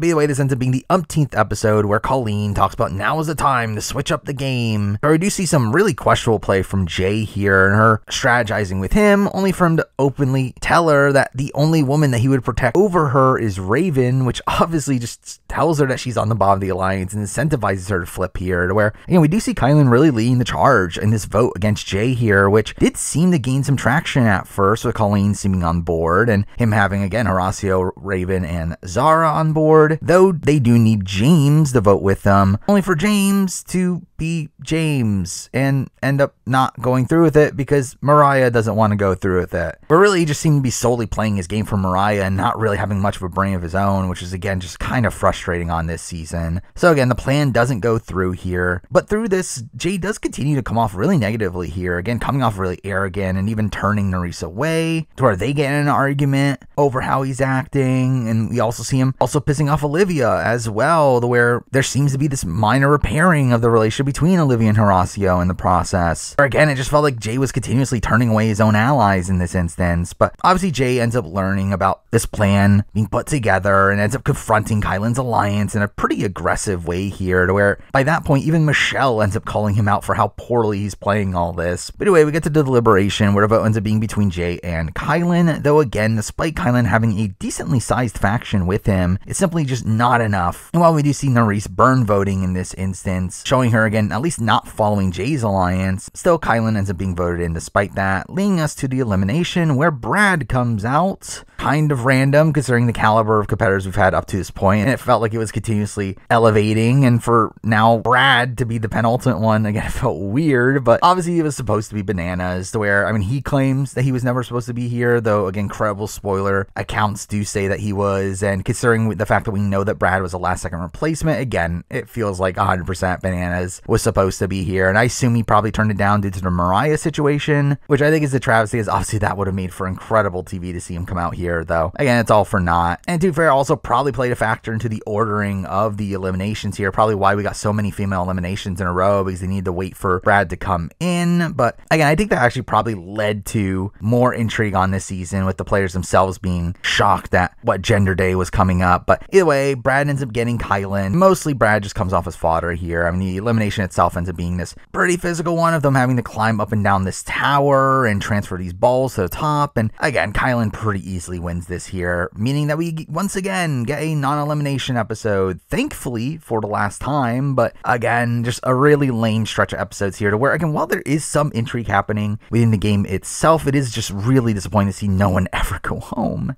Anyway, it takes us to episode 14, where here we have Colleen essentially now giving up on flipping and instead calls herself Moline and now talks about playing the middle, which is boring. Oh, Emmanuel finally comes back to the show talking about how he's sticking true to his allies, though he does worry about Olivia Nurys potentially flipping on him, which I wonder what's going to happen here. But again, we get to the daily where it is funny that we still have 16 people left in the game when there's only six episodes left, but the daily itself ends up being a mini final where we have teams of four and they have three checkpoints they've been going back and forth between. And again, the challenge itself is kind of boring here, though we do get some humor from it, where right away we do see Colleen really struggling at the first checkpoint, having a bit of a meltdown there. Though by the time the third checkpoint, the teams are pretty much tied to where we do have Jay's team getting the lead there through literally just guessing on the lock combination. So they have a lead coming to the final puzzle, though the final puzzle itself ends up essentially being the tower puzzle that Michelle has won twice on Survivor, and through that her team ends up winning here. Though interestingly, her team does contain both Kyland and James, obviously two of the bigger targets for the guys side of things, keeping them safe. And despite the fact that Horacio gets voted in here as the very easy pick from the winning team, it does actually lead to more intrigue on the upcoming vote, as this essentially means that the majority alliance now has to turn on each other, with everyone in the minority either being safe or already in elimination. Here we get Nurys being frustrated at Horacio's nomination, where we see her get into a little bit of a tiff with James, which again, nice petty drama to see here. But also, we start to get some really overconfident content from Asaf, with Asaf and Jay talking about running the game, and Asaf saying that they're the good guys in the story. So I wonder what's going to happen there. But either way, the vote ends up being between Ed and Emmanuel, which really makes you question how did Corey get out of this? Or again, there was a point where Corey was this consensus target for everybody. Yeah, at this point, he's somehow safe. Yet Jay and Michelle here seem to be protecting Emmanuel, who James claims is his number two, which really comes out of nowhere. Again, literally never brought up before up to this point. But Kyland ends up targeting Emmanuel with Olivia Nurys joining him in this vote, creating this massive split in the majority group here to where coming into deliberation, it did seem like it was going to be a tied vote to where we did get a pretty good nomination ceremony here uh, where Kyland says that the people that are currently being targeted are expendable and this leads to this fight back from Michelle. But again, the vote does come down to a tie and really Kyland's side in this situation actually does have the upper hand where they really have nothing to lose from a stalemate. Where again, Horacio's already in, so he has nothing to lose. Kyland already has immunity and the rest of his allies are women who can't be put in due to it being a male elimination day. So they have no real incentive to flip here. And it does seem like Corey ends up realizing this and ends up burning his vote on the revote to avoid another tie, which I will say the fact that they can burn their vote on the revote and not have the vote between the two nominees is kind of dumb. But and it seems like the vote is going to flip here until Ed ends up having the final vote. And here he ends up making a pretty interesting move of just burning a vote here to create another tie, which I do think is a dangerous move to be making here. As again, he is still technically vulnerable and again could have just guaranteed that Emmanuel goes in instead of potentially him. But considering he does have a relationship with Emmanuel, and by doing this, it does gain in favor with Emmanuel, saving him from directly going in, I do think it's an interesting move to make here. Again, opening up the chance of someone that isn't as close of an ally to you potentially going in, as we do end up seeing. But I do feel like for me personally, this is probably a bit too cute of a move to be making here. One that again puts you in direct danger, especially in the instance where again it's not even a guarantee that Emmanuel will go home even if he was going in. He literally has essentially a 33% chance of actually being picked for the elimination. To where again, I do think this is a move that was probably unnecessary. An interesting move that Ed ends up pulling off here. But again, we get to the elimination where because it's a tie, we find out that there is no draw, and instead CT comes out with chaos already. This being a fun entrance from CT, with him returning after a bit of a hiatus and him openly talking about preparing himself for Challenge 40. And here he's able to pick anybody but James and Kyland, who obviously have immunity, which again, pretty good for them considering CT doesn't know who they are. And here we do see Michelle being worried for Jay, and the show does try to hype it up as if he's going to pick Jay, but he instead picks the only person he doesn't know here, that being Asaf, which is kind of funny considering he actually was on a season with Asaf, though again, Asaf was the first boot, so I guess he doesn't remember him. But anyway, here Jay is pissed and pushes Nurys away, where really it is really dumb that Jay gets really upset at Olivia and Nurys here for Asaf's elimination, saying that he went home because you didn't flip your votes in the situation, when it's like, you could have flipped your vote. Like you're actually more incentivized to flip your vote because you're the ones potentially in danger. They're not. And again, it's a vote between two arbitrary people in Olivia and Nurys's minds, to where to them, neither Ed or Emmanuel are at the top of any pecking order. And like to Jay himself, Emmanuel is higher on the pecking order, to where really it feels like Jay just kind of being a sore loser from him, one losing Asaf by the end of this episode, but also him not being able to convince them to do something that's in his own best interest. But anyway, elimination here ends up being a kind of dull one of them having to solve this math equation that uses prime numbers, though we do get this funny moment from Asaf not knowing what a prime number is and having to ask other people for help with that. Though again, CT ends up winning here. So Asaf ends up being really emotional on his way out, saying I'm sorry to his family, and we do see Kyland smirking during this, which might get referenced later on. And I will say, like, I did kind of feel bad for Asaf on the way out, even though I didn't particularly like him on the season. But again, with that, let's talk about Asaf, who again, like, I not particularly like how he played the game this season. I mean, the thing is, like, I feel like a lot of people were talking about him as if he was a dud on the show, and I don't really even think that. I actually think he actually made for some decent TV at points in this season. I think my issue with him is just the fact that he plays the game in a really boring way. And he sticks with the majority alliance and doesn't really detract from that. And beyond that, obviously, he is on a high horse at points. He's pretty indignant throughout the season, but I still found him to be somewhat entertaining at points to where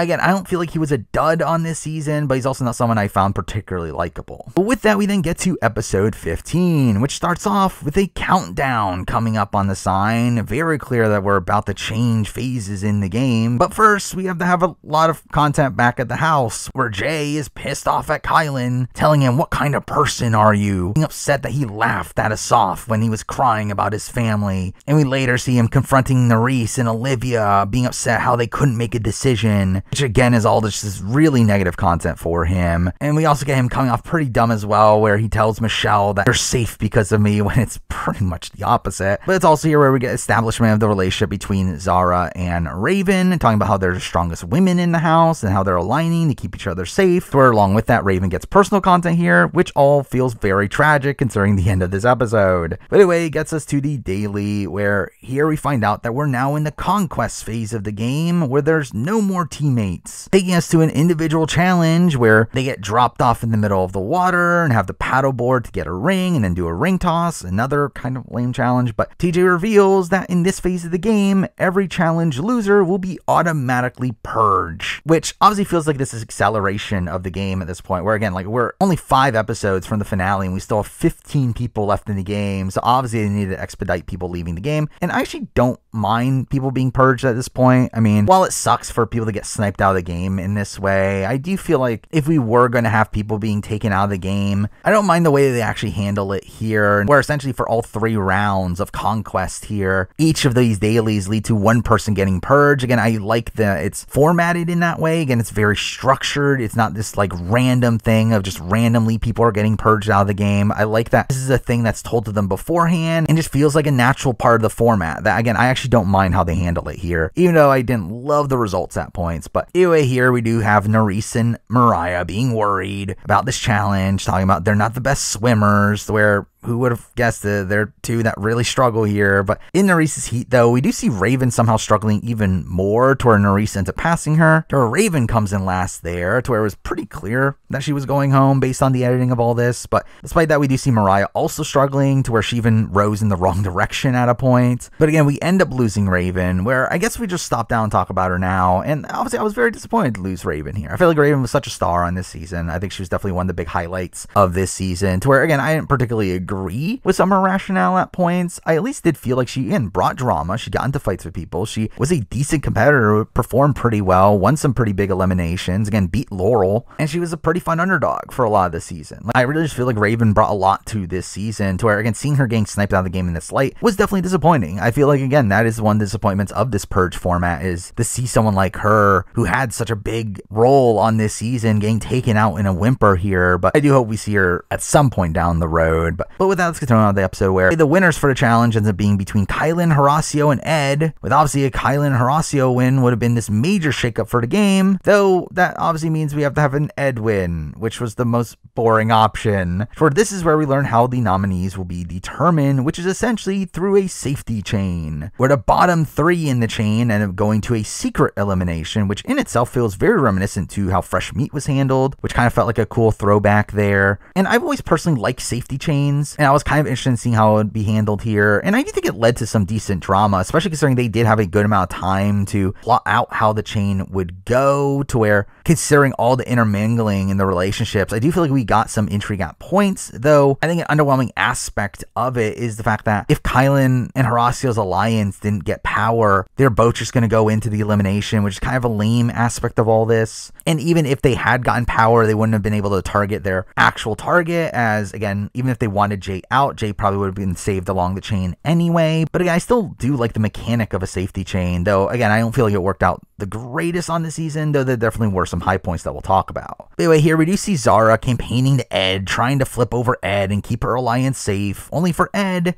to say he's not going to do that because they only saved me last time because they wanted to target Emmanuel, which is really a dumb explanation for it, as they only had to save you last time because your own alliance was voting you in. Again, just very frustrating to see Ed just continuously ignore the fact that he's on the bottom of his alliance. But anyway, Jay does talk about how he wants Kyland, Horacio, and Zara going in. So I wonder who's going in. But does also create this plan to have Nurys end up having the last pick so that she would be forced to expose who she's working with and actually make this go through. This would need James to have the save Nurys instead of Zara, obviously person that he's much closer to. To which who would have guessed it? He does it because Mariah tells him to, which is really lame. But here we also get the reestablishment of the Nurys Olivia relationship, as obviously it's going to matter for down the road, where Nurys does talk about still having her back despite family telling her not to, which I wonder if that'll backfire on her. Anyway, we get to the selection where Ed ends up saving Emmanuel first, who ends up saving Berna and Colleen, who seem like a trio in the game at this point, who then saves Corey, who then saves Michelle, then Jay, then Mariah, then James, leading to James, then saving Nurys over Zara. Obviously, this big shocker for Zara there. Obviously, putting Nurys in a very tough decision, having to pick between her closest allies, to where we do have Horacio here saying, Don't save me, leading to Nurys saving Olivia instead here. In essence, Horacio also helping Olivia out in this instance, which again, I'm sure will be repaid down the road. But with this, this does lead to Horacio, Kyland, and Zara being in the elimination. So right here, we do see Zara ranting about James, saying that she now hates him, that she wrote about him in her journal. Probably the most trauma she brought all season. But either way, we learn about the Conquest elimination, which ends up being essentially a mini final to a degree of them having a three part obstacle course with puzzles at the end of them to where you could do them in any order. And here, the first two to finish this course ends up staying in the game. Only one person being eliminated here, something that does change in future rounds, which I assume was an aspect of the format they kept open in the case of too many people making it this deep into the game. I assume, again, this is their way to kind of fix that the number of people in the game could be very fluid based on what happened during the chaos phase. So I assume that they were going to eliminate people accordingly based on the numbers here. But anyway, Zara ends up being in the initial lead here, though we do see Horacio and Kyland really working together on the puzzles and then breezing by them there. Oh well, Zara ends up struggling to get over some of the obstacles due to the fact that she went to the mud portion first, which makes her feet slippery, leading to her really losing her lead. And Horacio and Kyland end up finishing first, leading to Zara getting eliminated here. And Zara, again, was just a very frustrating player on this season. I do feel like she's someone that I was expecting probably a little bit more strategy from, especially the fact that she was on World Championship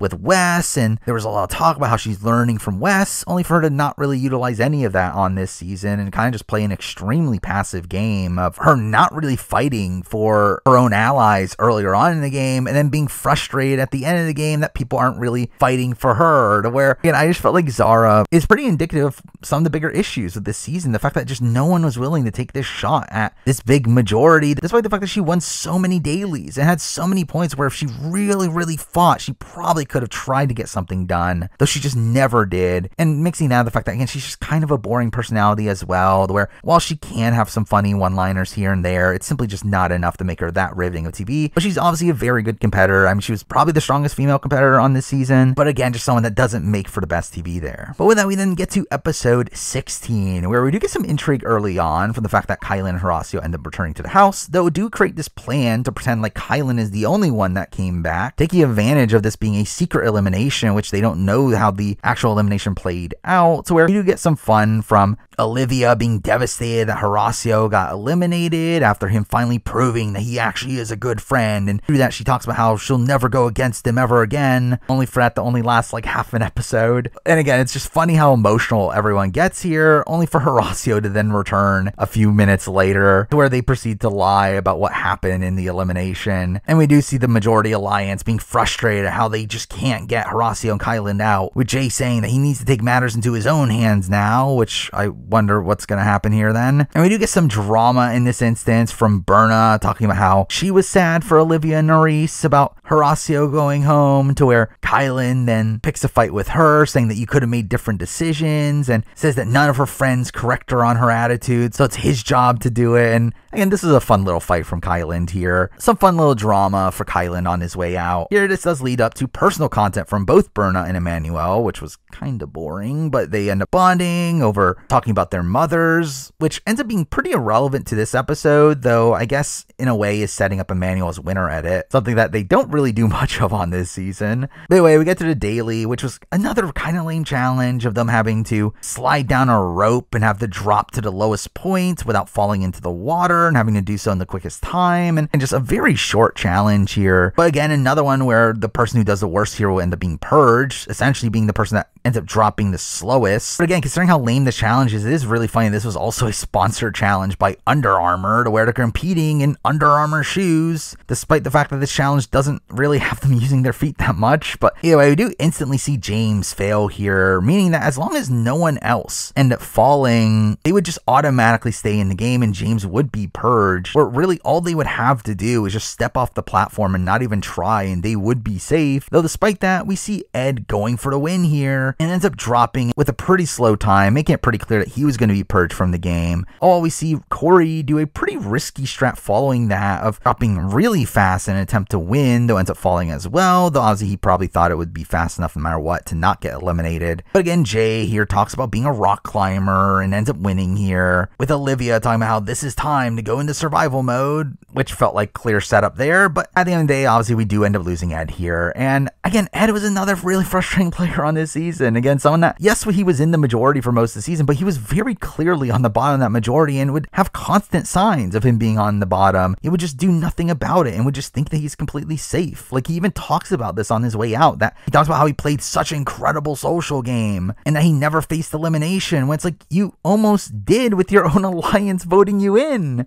And the only reason you didn't get voted in is because the opposing alliance fought for you to stay. And despite that, you're still targeting them on your way out. Now, again, I actually like on the show. I think Ed is actually a pretty fun personality and someone that, again, I would not be opposed to seeing back again just because, again, I do think he makes for good confessionals at points, but he's just someone that is so frustrating to watch with just how blindly loyal he is and how aloof he seems to be to his social standing in the game. But again, he is a very strong all around competitor to where I would not be shocked to see him potentially win at some point down the road. But continuing on, I mean, with Jay winning the challenge here, we do get talk from him about how Michelle and Emmanuel are his top two and he wants to keep them both safe, which does have him being somewhat opposed to what Michelle wants to do here, where Michelle wants to keep Olivia and Nurys safe. They'll both end up wanting to target Horacio and Kyland, obviously, despite the fact that Jay tells Nurys that he's done hunting, only for him to just go back on that instantly anyway, to where, again, the plan is to put in Horacio and Kyland, though there's a lot of talk about who that third person's going to be, where Michelle ends up wanting to put in Colleen here, though we do see them struggling on finding a way to make this occur, as no matter what, if you end up keeping Emmanuel safe, they'll keep Berna safe, which will eventually keep Colleen safe. Though also picking Olivia and Nurys more than likely leads to them picking Kyland and Horacio, which again just leads to this being a pretty near impossible situation for this to occur, which does lead to a decent amount of drama here and them all disagreeing on how to approach this safety chain here. Now, beyond this, we do get Nurys finding out the fact that Jay is still going after Horacio and Kyland, or do you see her being really upset the fact that for some reason they're not going after Mariah and James, which again, I assume James being kept around here simply because he isn't a threat. Though again, it is funny how far they let Mariah keep James in the game as a duo. But again, I assume it was just a situation where obviously Horacio and Kyland were looked at as much bigger threats than him. But anyway, we get to the selection where Jay ends up picking Michelle, who does end up saving Olivia here, making it seem like Nurys, Horacio, and Kyland were about to be safe, only for her to then save Mariah, leading to this genius like flashback showing Olivia making this deal to save herself in exchange for her saving Mariah following that. A pretty bad move from Olivia here. Obviously, breaking her friendship with Nurys and Horacio, who again went so far out of their way to save her just in the previous round, but also showing the others that she's not loyal and making the others aware of the fact that she's not someone to be trusted and be willing to throw her in. And also just a bad move for long term as well. To where again, that's the thing with the challenge that your actions in one season can affect future seasons. To where I would not be shocked if coming into challenge 40 that she has a bad reputation around her because of this move. Again, I just think this was a terrible move from her pretty much in almost every single way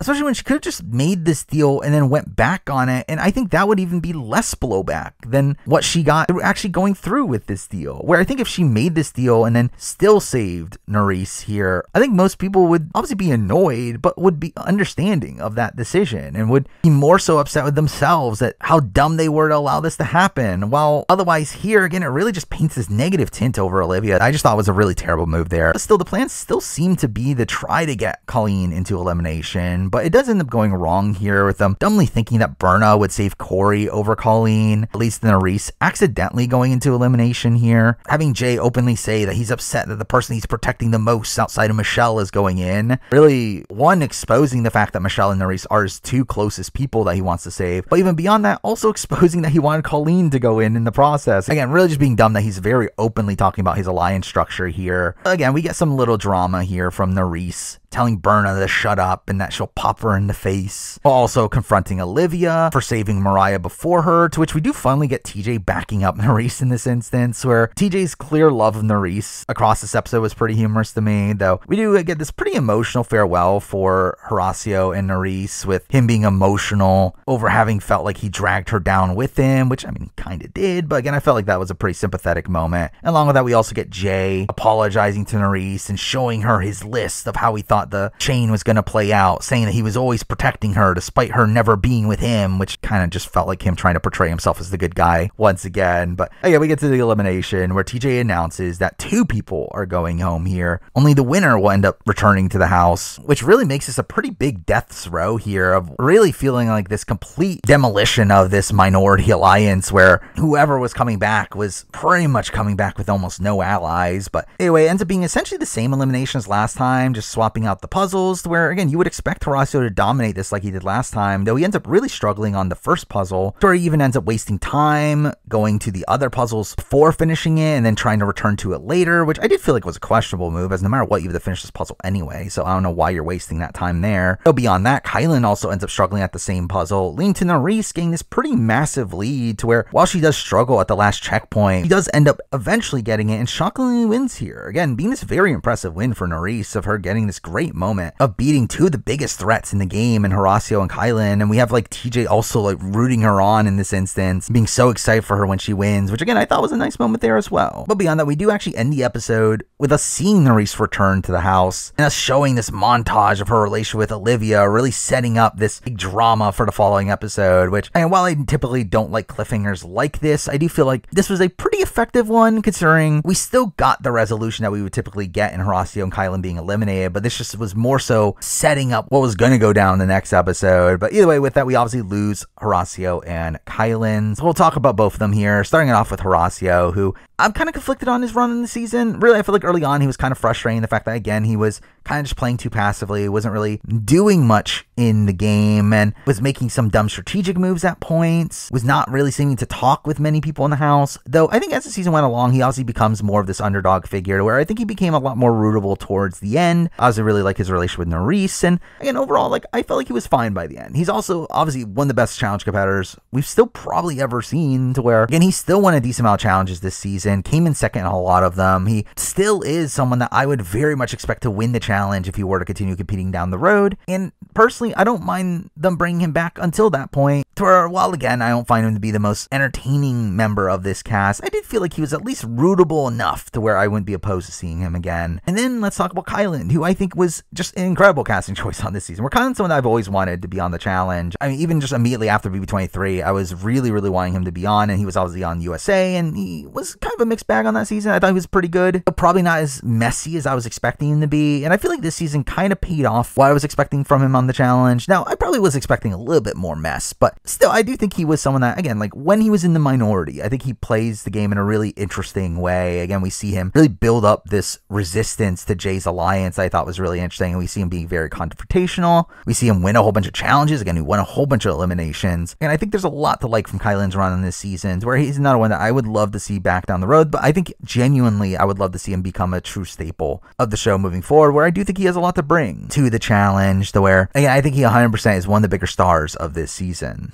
And we get to episode 17, where obviously we see the reaction to Nurys returning, with most people celebrating, obviously, and the fact that Kylan and Horacio are gone. Though we do see Nurys being clearly annoyed at pretty much everybody and decides to not tell them about the elimination. Obviously, something that works to her favor as she comes into the following round being the only person to know what the elimination is. But following this, we do get a lot of focus on the Nurys Olivia dynamic, obviously, with Jay talking about how dumb it was for Olivia to throw Nurys in because obviously he would never do that. But really, throughout this episode, Olivia strangely comes off as pretty sympathetic towards Nurys, which was surprising considering obviously their very hostile relationship after the show. But we do see Michelle trying to repair their relationship, and along that, Michelle also gets content showing her relationship with Berna, meaning Berna is back on the show, which I wonder why. I would have guessed we get to the daily where there's an endurance challenge of having to bounce on a barrel, and who would have guessed it? Berna wins. Oh, well, the first five to drop end up going to the losers bracket, where the person that gets purged is determined. And here we do get some pretty dramatic editing and some over the top music playing, with us also getting a lot of slow mo. And what do you know? Michelle ends up losing her footing almost right away. And despite hanging on to rope with just her arms for quite a while, she does eventually drop. Again, being proud though is this big emotional moment with Mariah and Jay both getting emotional here. And to be fair, I mean, I do feel like that weight was definitely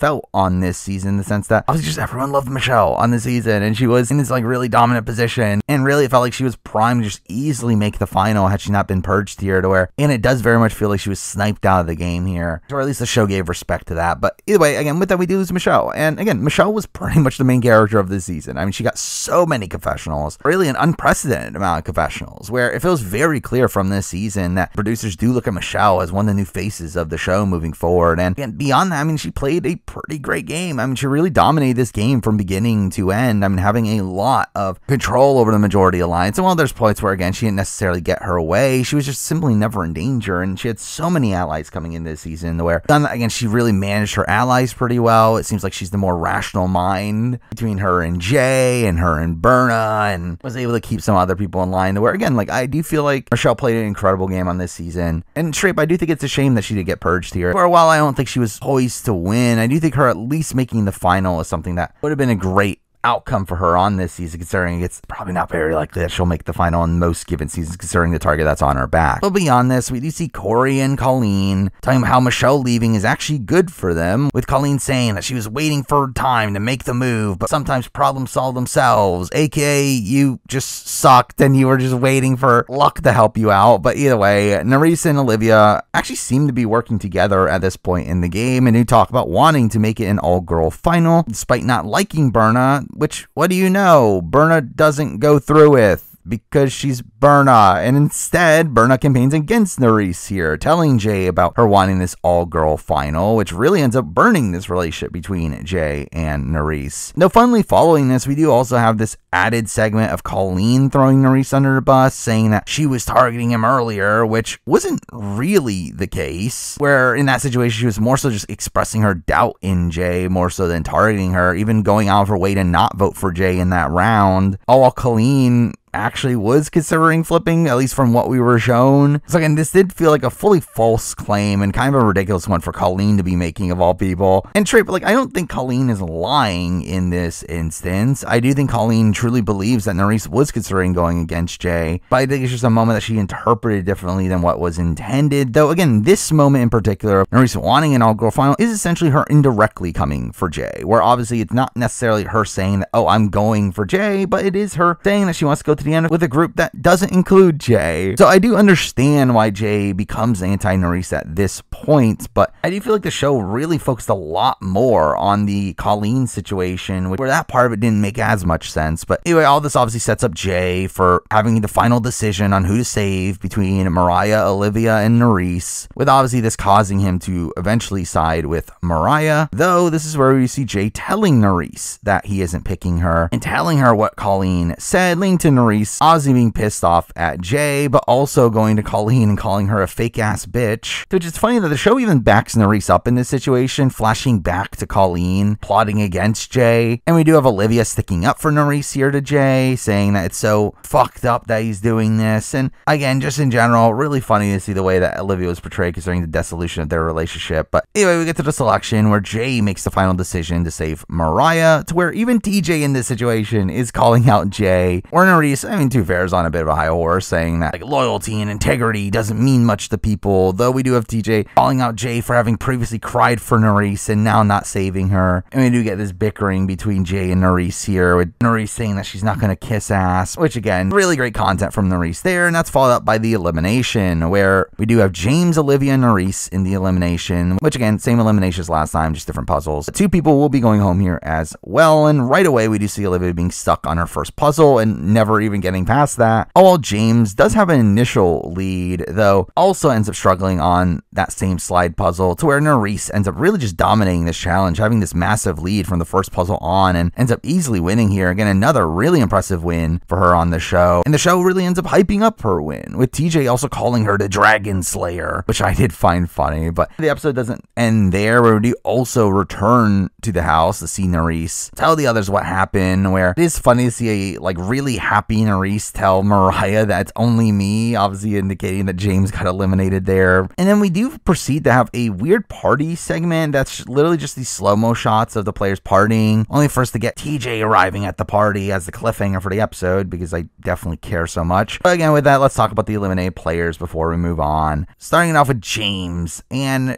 James was someone that I was actually okay with being on this season. I mean, James was someone that again, I felt bad for him and how he went out in Challenge UK, and I thought him coming back here again, at least he could get some redemption. And Fairy kind of does, but also he revealed that he's such a boring TV presence that I have no interest in ever seeing him again. So again, it was just very frustrating to see how he played the game, playing very passively, just allowing the majority alliance to maintain control despite there being opportunities for him to finally flip the game. He just simply followed Mariah and didn't really do much outside that. And really, just as a whole, I think he came off as a massive disappointment to me, to where again, no interest in ever seeing him again. And beyond that, we do then have Olivia, who I think Olivia's run this season is a bit strange. Obviously, she's someone that was this big character the previous season and did have a lot to live up to on this season. And to fair, by the end of it, I do think she definitely continues that impact that she had, though obviously comes off in a lot more negative of a way. I mean, she definitely comes off as pretty judgy and jealous at points throughout this season, but I mean, she's still an entertaining presence. I still feel like she's someone that is kind of perfectly suited out for the challenge, or someone that's like physical enough where they'll probably make it deep in most seasons. Again, pretty good socially, pretty messy strategically, to where, again, I wouldn't mind if Olivia does continue to be on the show from this point forward, as again, I do think she brings decent TV at points, even though, again, I don't necessarily agree with how she acted at points in the season. But we get to episode 18 where TJ reveals that they all made the final, and that's it. This is where Nurys does say that no one else has had to prove themselves. It's kind of clicking in my mind that, yeah, she's the only person in this entire final to have previously gone to elimination, which is actually a pretty insane stat. It really just shows you the stagnation of this game, which was very frustrating, and that the same people were going in over and over and over again. But straight up, I mean, bulk of this episode was just really boring. I mean, in the lead up to the final, we do see them getting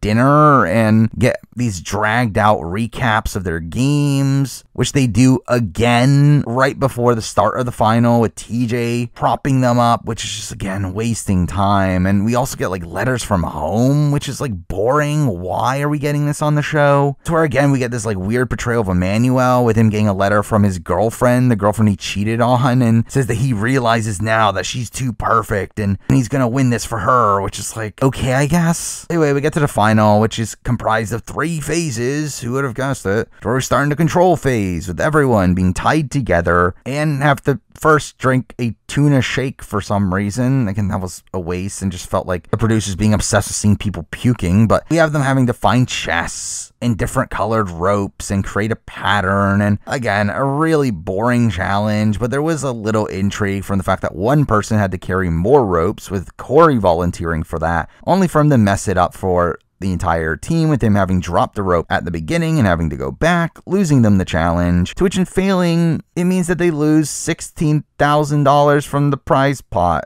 for some reason. Literally just feels like the producers just picking a number just to make the final prize money a even number, which is also really funny too, considering the money that gets taken away here is from the second and third place prizes only, where first place still gets the same amount of money. So again, all this is very strange. But again, we end this phase with elimination, which obviously functions in the same way as the control phase of the game, where they voted one player, and that player getting to drag someone to elimination with them, and the vote ends up being between Nurys and Corey, with Corey getting voted in here for messing up the challenge. Where, despite there already being enough votes on Corey, by the time we get to the last few votes, Emmanuel and Colleen still end up voting for Nurys for some reason, which just felt weird, especially because then Corey himself ends up voting himself in. So, again, just strange. But Corey here ends up picking Jay, which was a bit of a shock here in the fact that obviously Jay had been shown to be running the game throughout the entire season, and for Corey to now directly come for him, Dre says that he's targeting him because he's sketchy and wants anyone else to win but Jay, as he used and abused the players in the house. Which I mean, where was this moral high ground earlier in the season? I mean, this definitely could have been needed. Obviously, I get it in the fact that obviously Jay was protected by Michelle and Corey had the connection to Michelle and wanted to navigate through the game. Though again, like this would have been a much better season if people were doing stuff like this earlier on. But anyway, the challenge itself ends up being a pretty neutral one, uh, as it obviously could be one where different genders are participating in, though at the same time, it is one where there is a pretty physical portion at the beginning where you have to run out and collect your puzzle pieces, though after that, it's just a basic stacking challenge. But Corey ends up easily winning here, with Jay going out pretty anticlimactically, where again, it just kind of felt like this went by super quick. And considering the fact that Jay ran this season, it does feel weird that he just gets sent off in a bit of a whimper here. But again, with that, we do lose Jay. And Jay is someone that, again, like I very much like coming into the season. I thought he was a fun, scrappy underdog in the previous seasons. This season, his portrayal was obviously the complete opposite. Again, he was this dominating figure that ran the entire game and came off very unlikable. I mean, the fact that he was on this massive high ground for a lot of the season and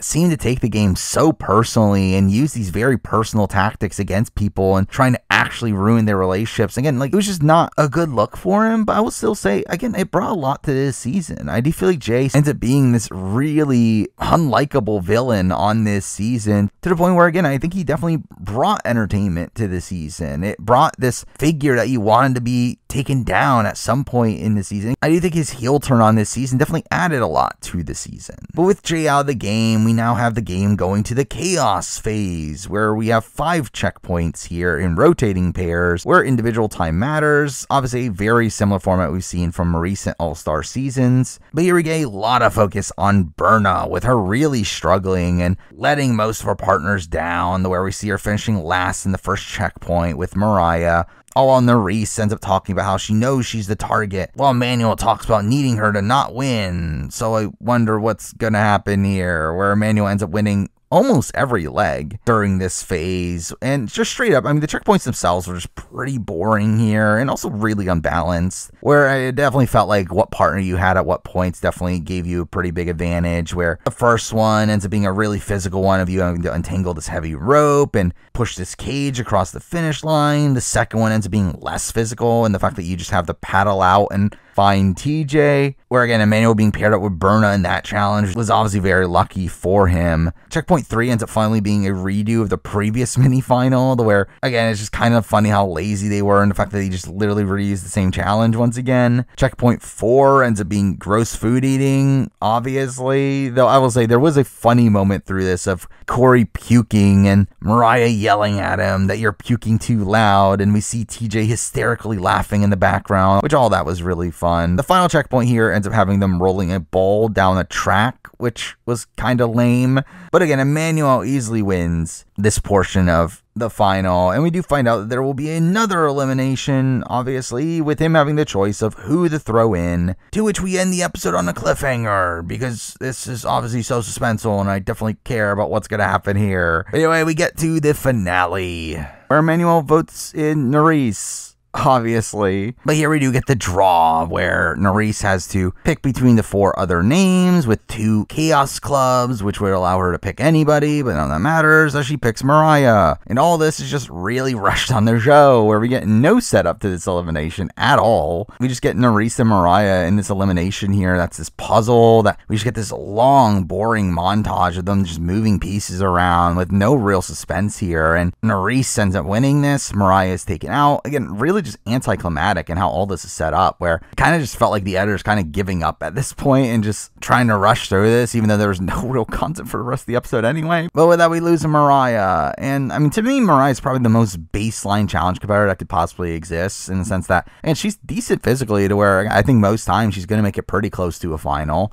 She is not interesting TV wise, but on both first seasons, she has become somewhat prominent fixtures on the show through, again, her first time, her really rocky relationship with Fessy, and her second time with, again, her relationship with James. It has her like seeming to find these storylines to put her on the show, even though she's not the most interesting personality in the world. And straight up, like Mariah is someone that I could take her leave moving forward. I mean, if she comes back, I think it's fine. She's someone that I would rather have back than certain other people, but she's also not someone I'm really excited to have back either. I mean, she just seems to be a largely affable presence on the challenge, but again, one that doesn't bring too much excitement along with her. But then we get the rest of the final, which was just boring, where we get the reveal no one is sleeping tonight because I definitely care, where we get this montage of people being upset at TJ for not letting them sleep. It's like, who cares? But either way, they have to get tiles out of a cage, like in the OG challenge from episode zero. So once they do, they can get these supplies that will let them sleep. So it's like, okay, I guess they can sleep anyway.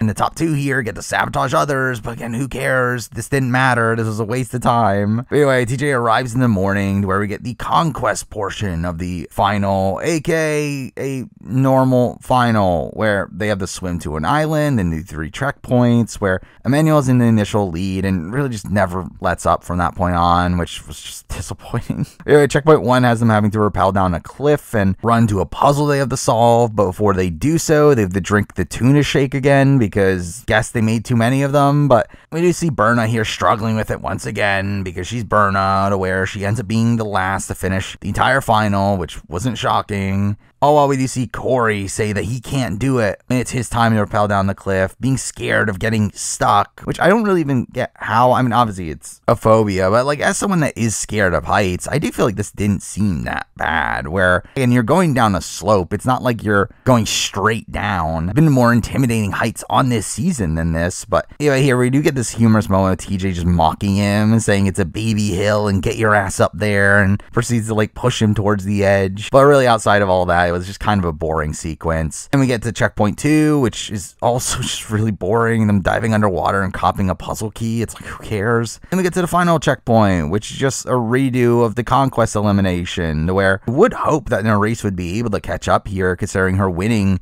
this twice in the past, and we do see Emmanuel really struggling on the Sudoku portion that ends up slowing him down, to where we do get to a point where everyone seemed to be on their final flag at the same time, though Emmanuel still leaves in first and easily wins, which just sucks, all while we get Nurys coming in second. And then we get this very lengthy sequence of who's gonna get third between Colleen and Corey, because only third gets money, which I don't care about. Again, Corey ends up struggling on the balance beam to where Colleen ends up beating him, which too fair is kind of a sucky way to lose out on $30,000 from Corey's end. But anyway, overall, just an underwhelming ending to the season. To me, I just feel like the season would have been a lot better had Nurys won this season. I think her being this massive underdog in the end portions of the season, going on to win in situation where I had no faith in Nurys coming into this season, to where she really shocked me coming into this season. Again, like I think that would have been a fantastic conclusion to the season. But no, we get the most boring, unlikable winner we could have possibly gotten. One that I don't even know if we're going to see him ever again on the challenge. I didn't get the sense the production loved him on this season. So again, for this to be a season that was attempting to create this new face of the challenge, and for that person to be Emmanuel was just a very lackluster ending here that kind of does sour parts of my opinions of this season. But again, with that, we'll still run through the finalists, talk about my opinions on them. Starting it off with Berna. And I don't particularly like Berna. Now, I will say, in comparison to some of the other people that made the final,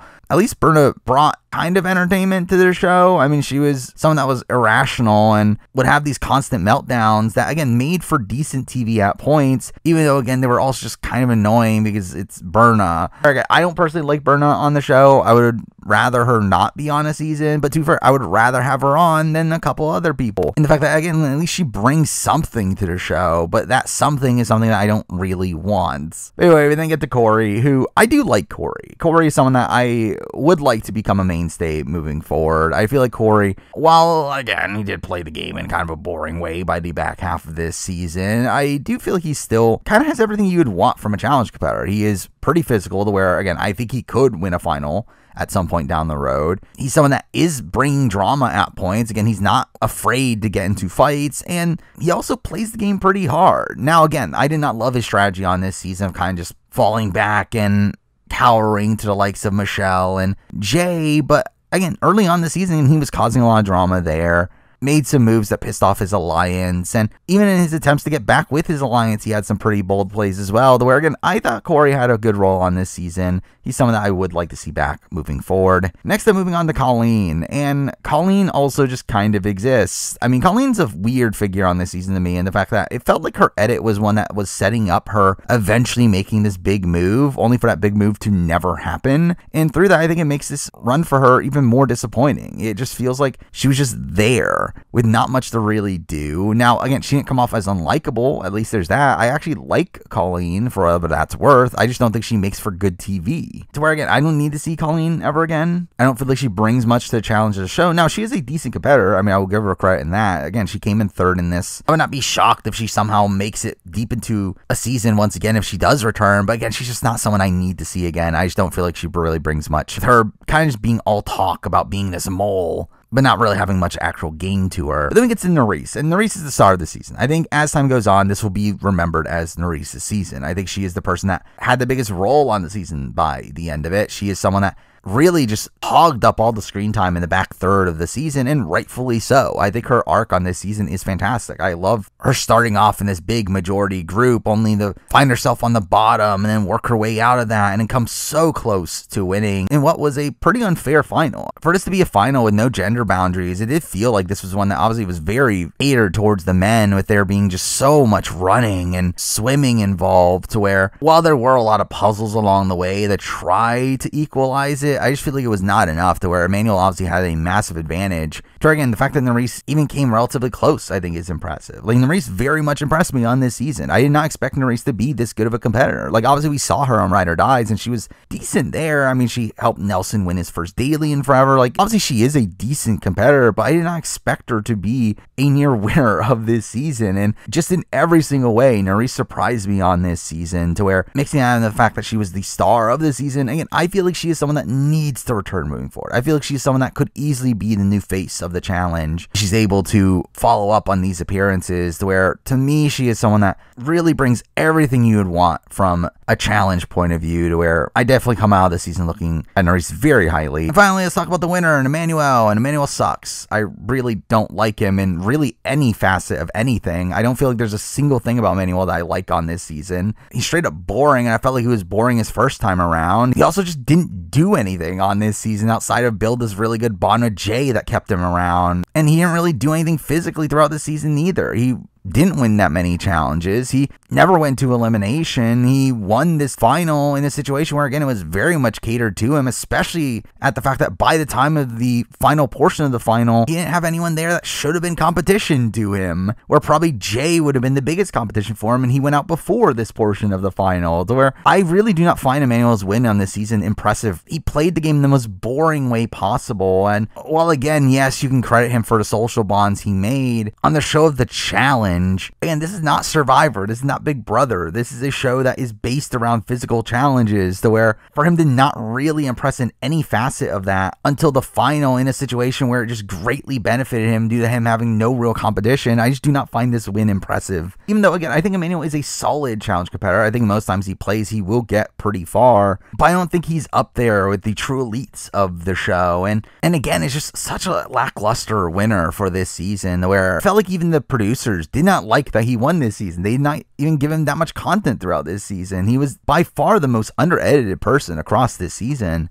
where even the likes of Colleen got more content than him. So I just feel like he's a lackluster winner on all fronts, to where, again, I just felt like it was such a disappointment to see him actually pull it out here. But anyway, that's it for the challenge Battle for a New Champion, a season that I think was okay. I mean, at the end of the day, yeah, there's a lot bad about this season. Again, a terrible outcome. You have a really terrible format and definitely certain cast members that brought nothing to the table, but there were also some cast members that did bring a lot to the table. Again, you got Nurys' underdog run, you got Kyland's underdog run, and you have Melissa and Big T causing a lot of drama early on. I think it was interesting to see Michelle run the game. Jay was this big villain, which was this interesting heel turn. Raven very much surprised me. Again, there were definitely things to like about this season. The problem is that that simply came from the cast, and I feel like production did nothing to improve the season outside that. Again, I think the format is terrible. The editing was terrible. The overly serious tone is terrible. For while, again, it did feel like we were getting this sense of older school challenge a bit back with there being this more messy drama happening. To me, it's not enough to make this an actual good challenge season, just due to the fact that production doesn't seem to know what they're doing with the challenge and are trying to make the show something that it's not, which is also just a not as interesting show, which I don't even think anyone even wants it to become this super serious sport show that it seems like production is wanting it to be. So I just don't know what they're doing. But again, I do feel like this season at least had sprinkles of good content to where I do think it's better than the last few mainline seasons. I think it's the best season since Total Madness, but really that's not saying much considering how lackluster I feel like those seasons are. But anyway, that's my review challenge battle for a new champion. Now obviously this is coming out a bit late where I did have my Big Brother rankings to get out first. But with that out of the way, Traitors season 2 is about to end. I do have my review of that coming out pretty soon. Beyond that, I mean, obviously we have BB Can, we have Survivor going on, Amazing Race is going to start. So I'll be doing videos on all those. I mean, we'll get All Stars 4 eventually, and I intend on doing a review of that as well. To where and stay tuned for all those things and obviously this typical content you can expect from the channel. But for now, that is the video. Thank you for watching.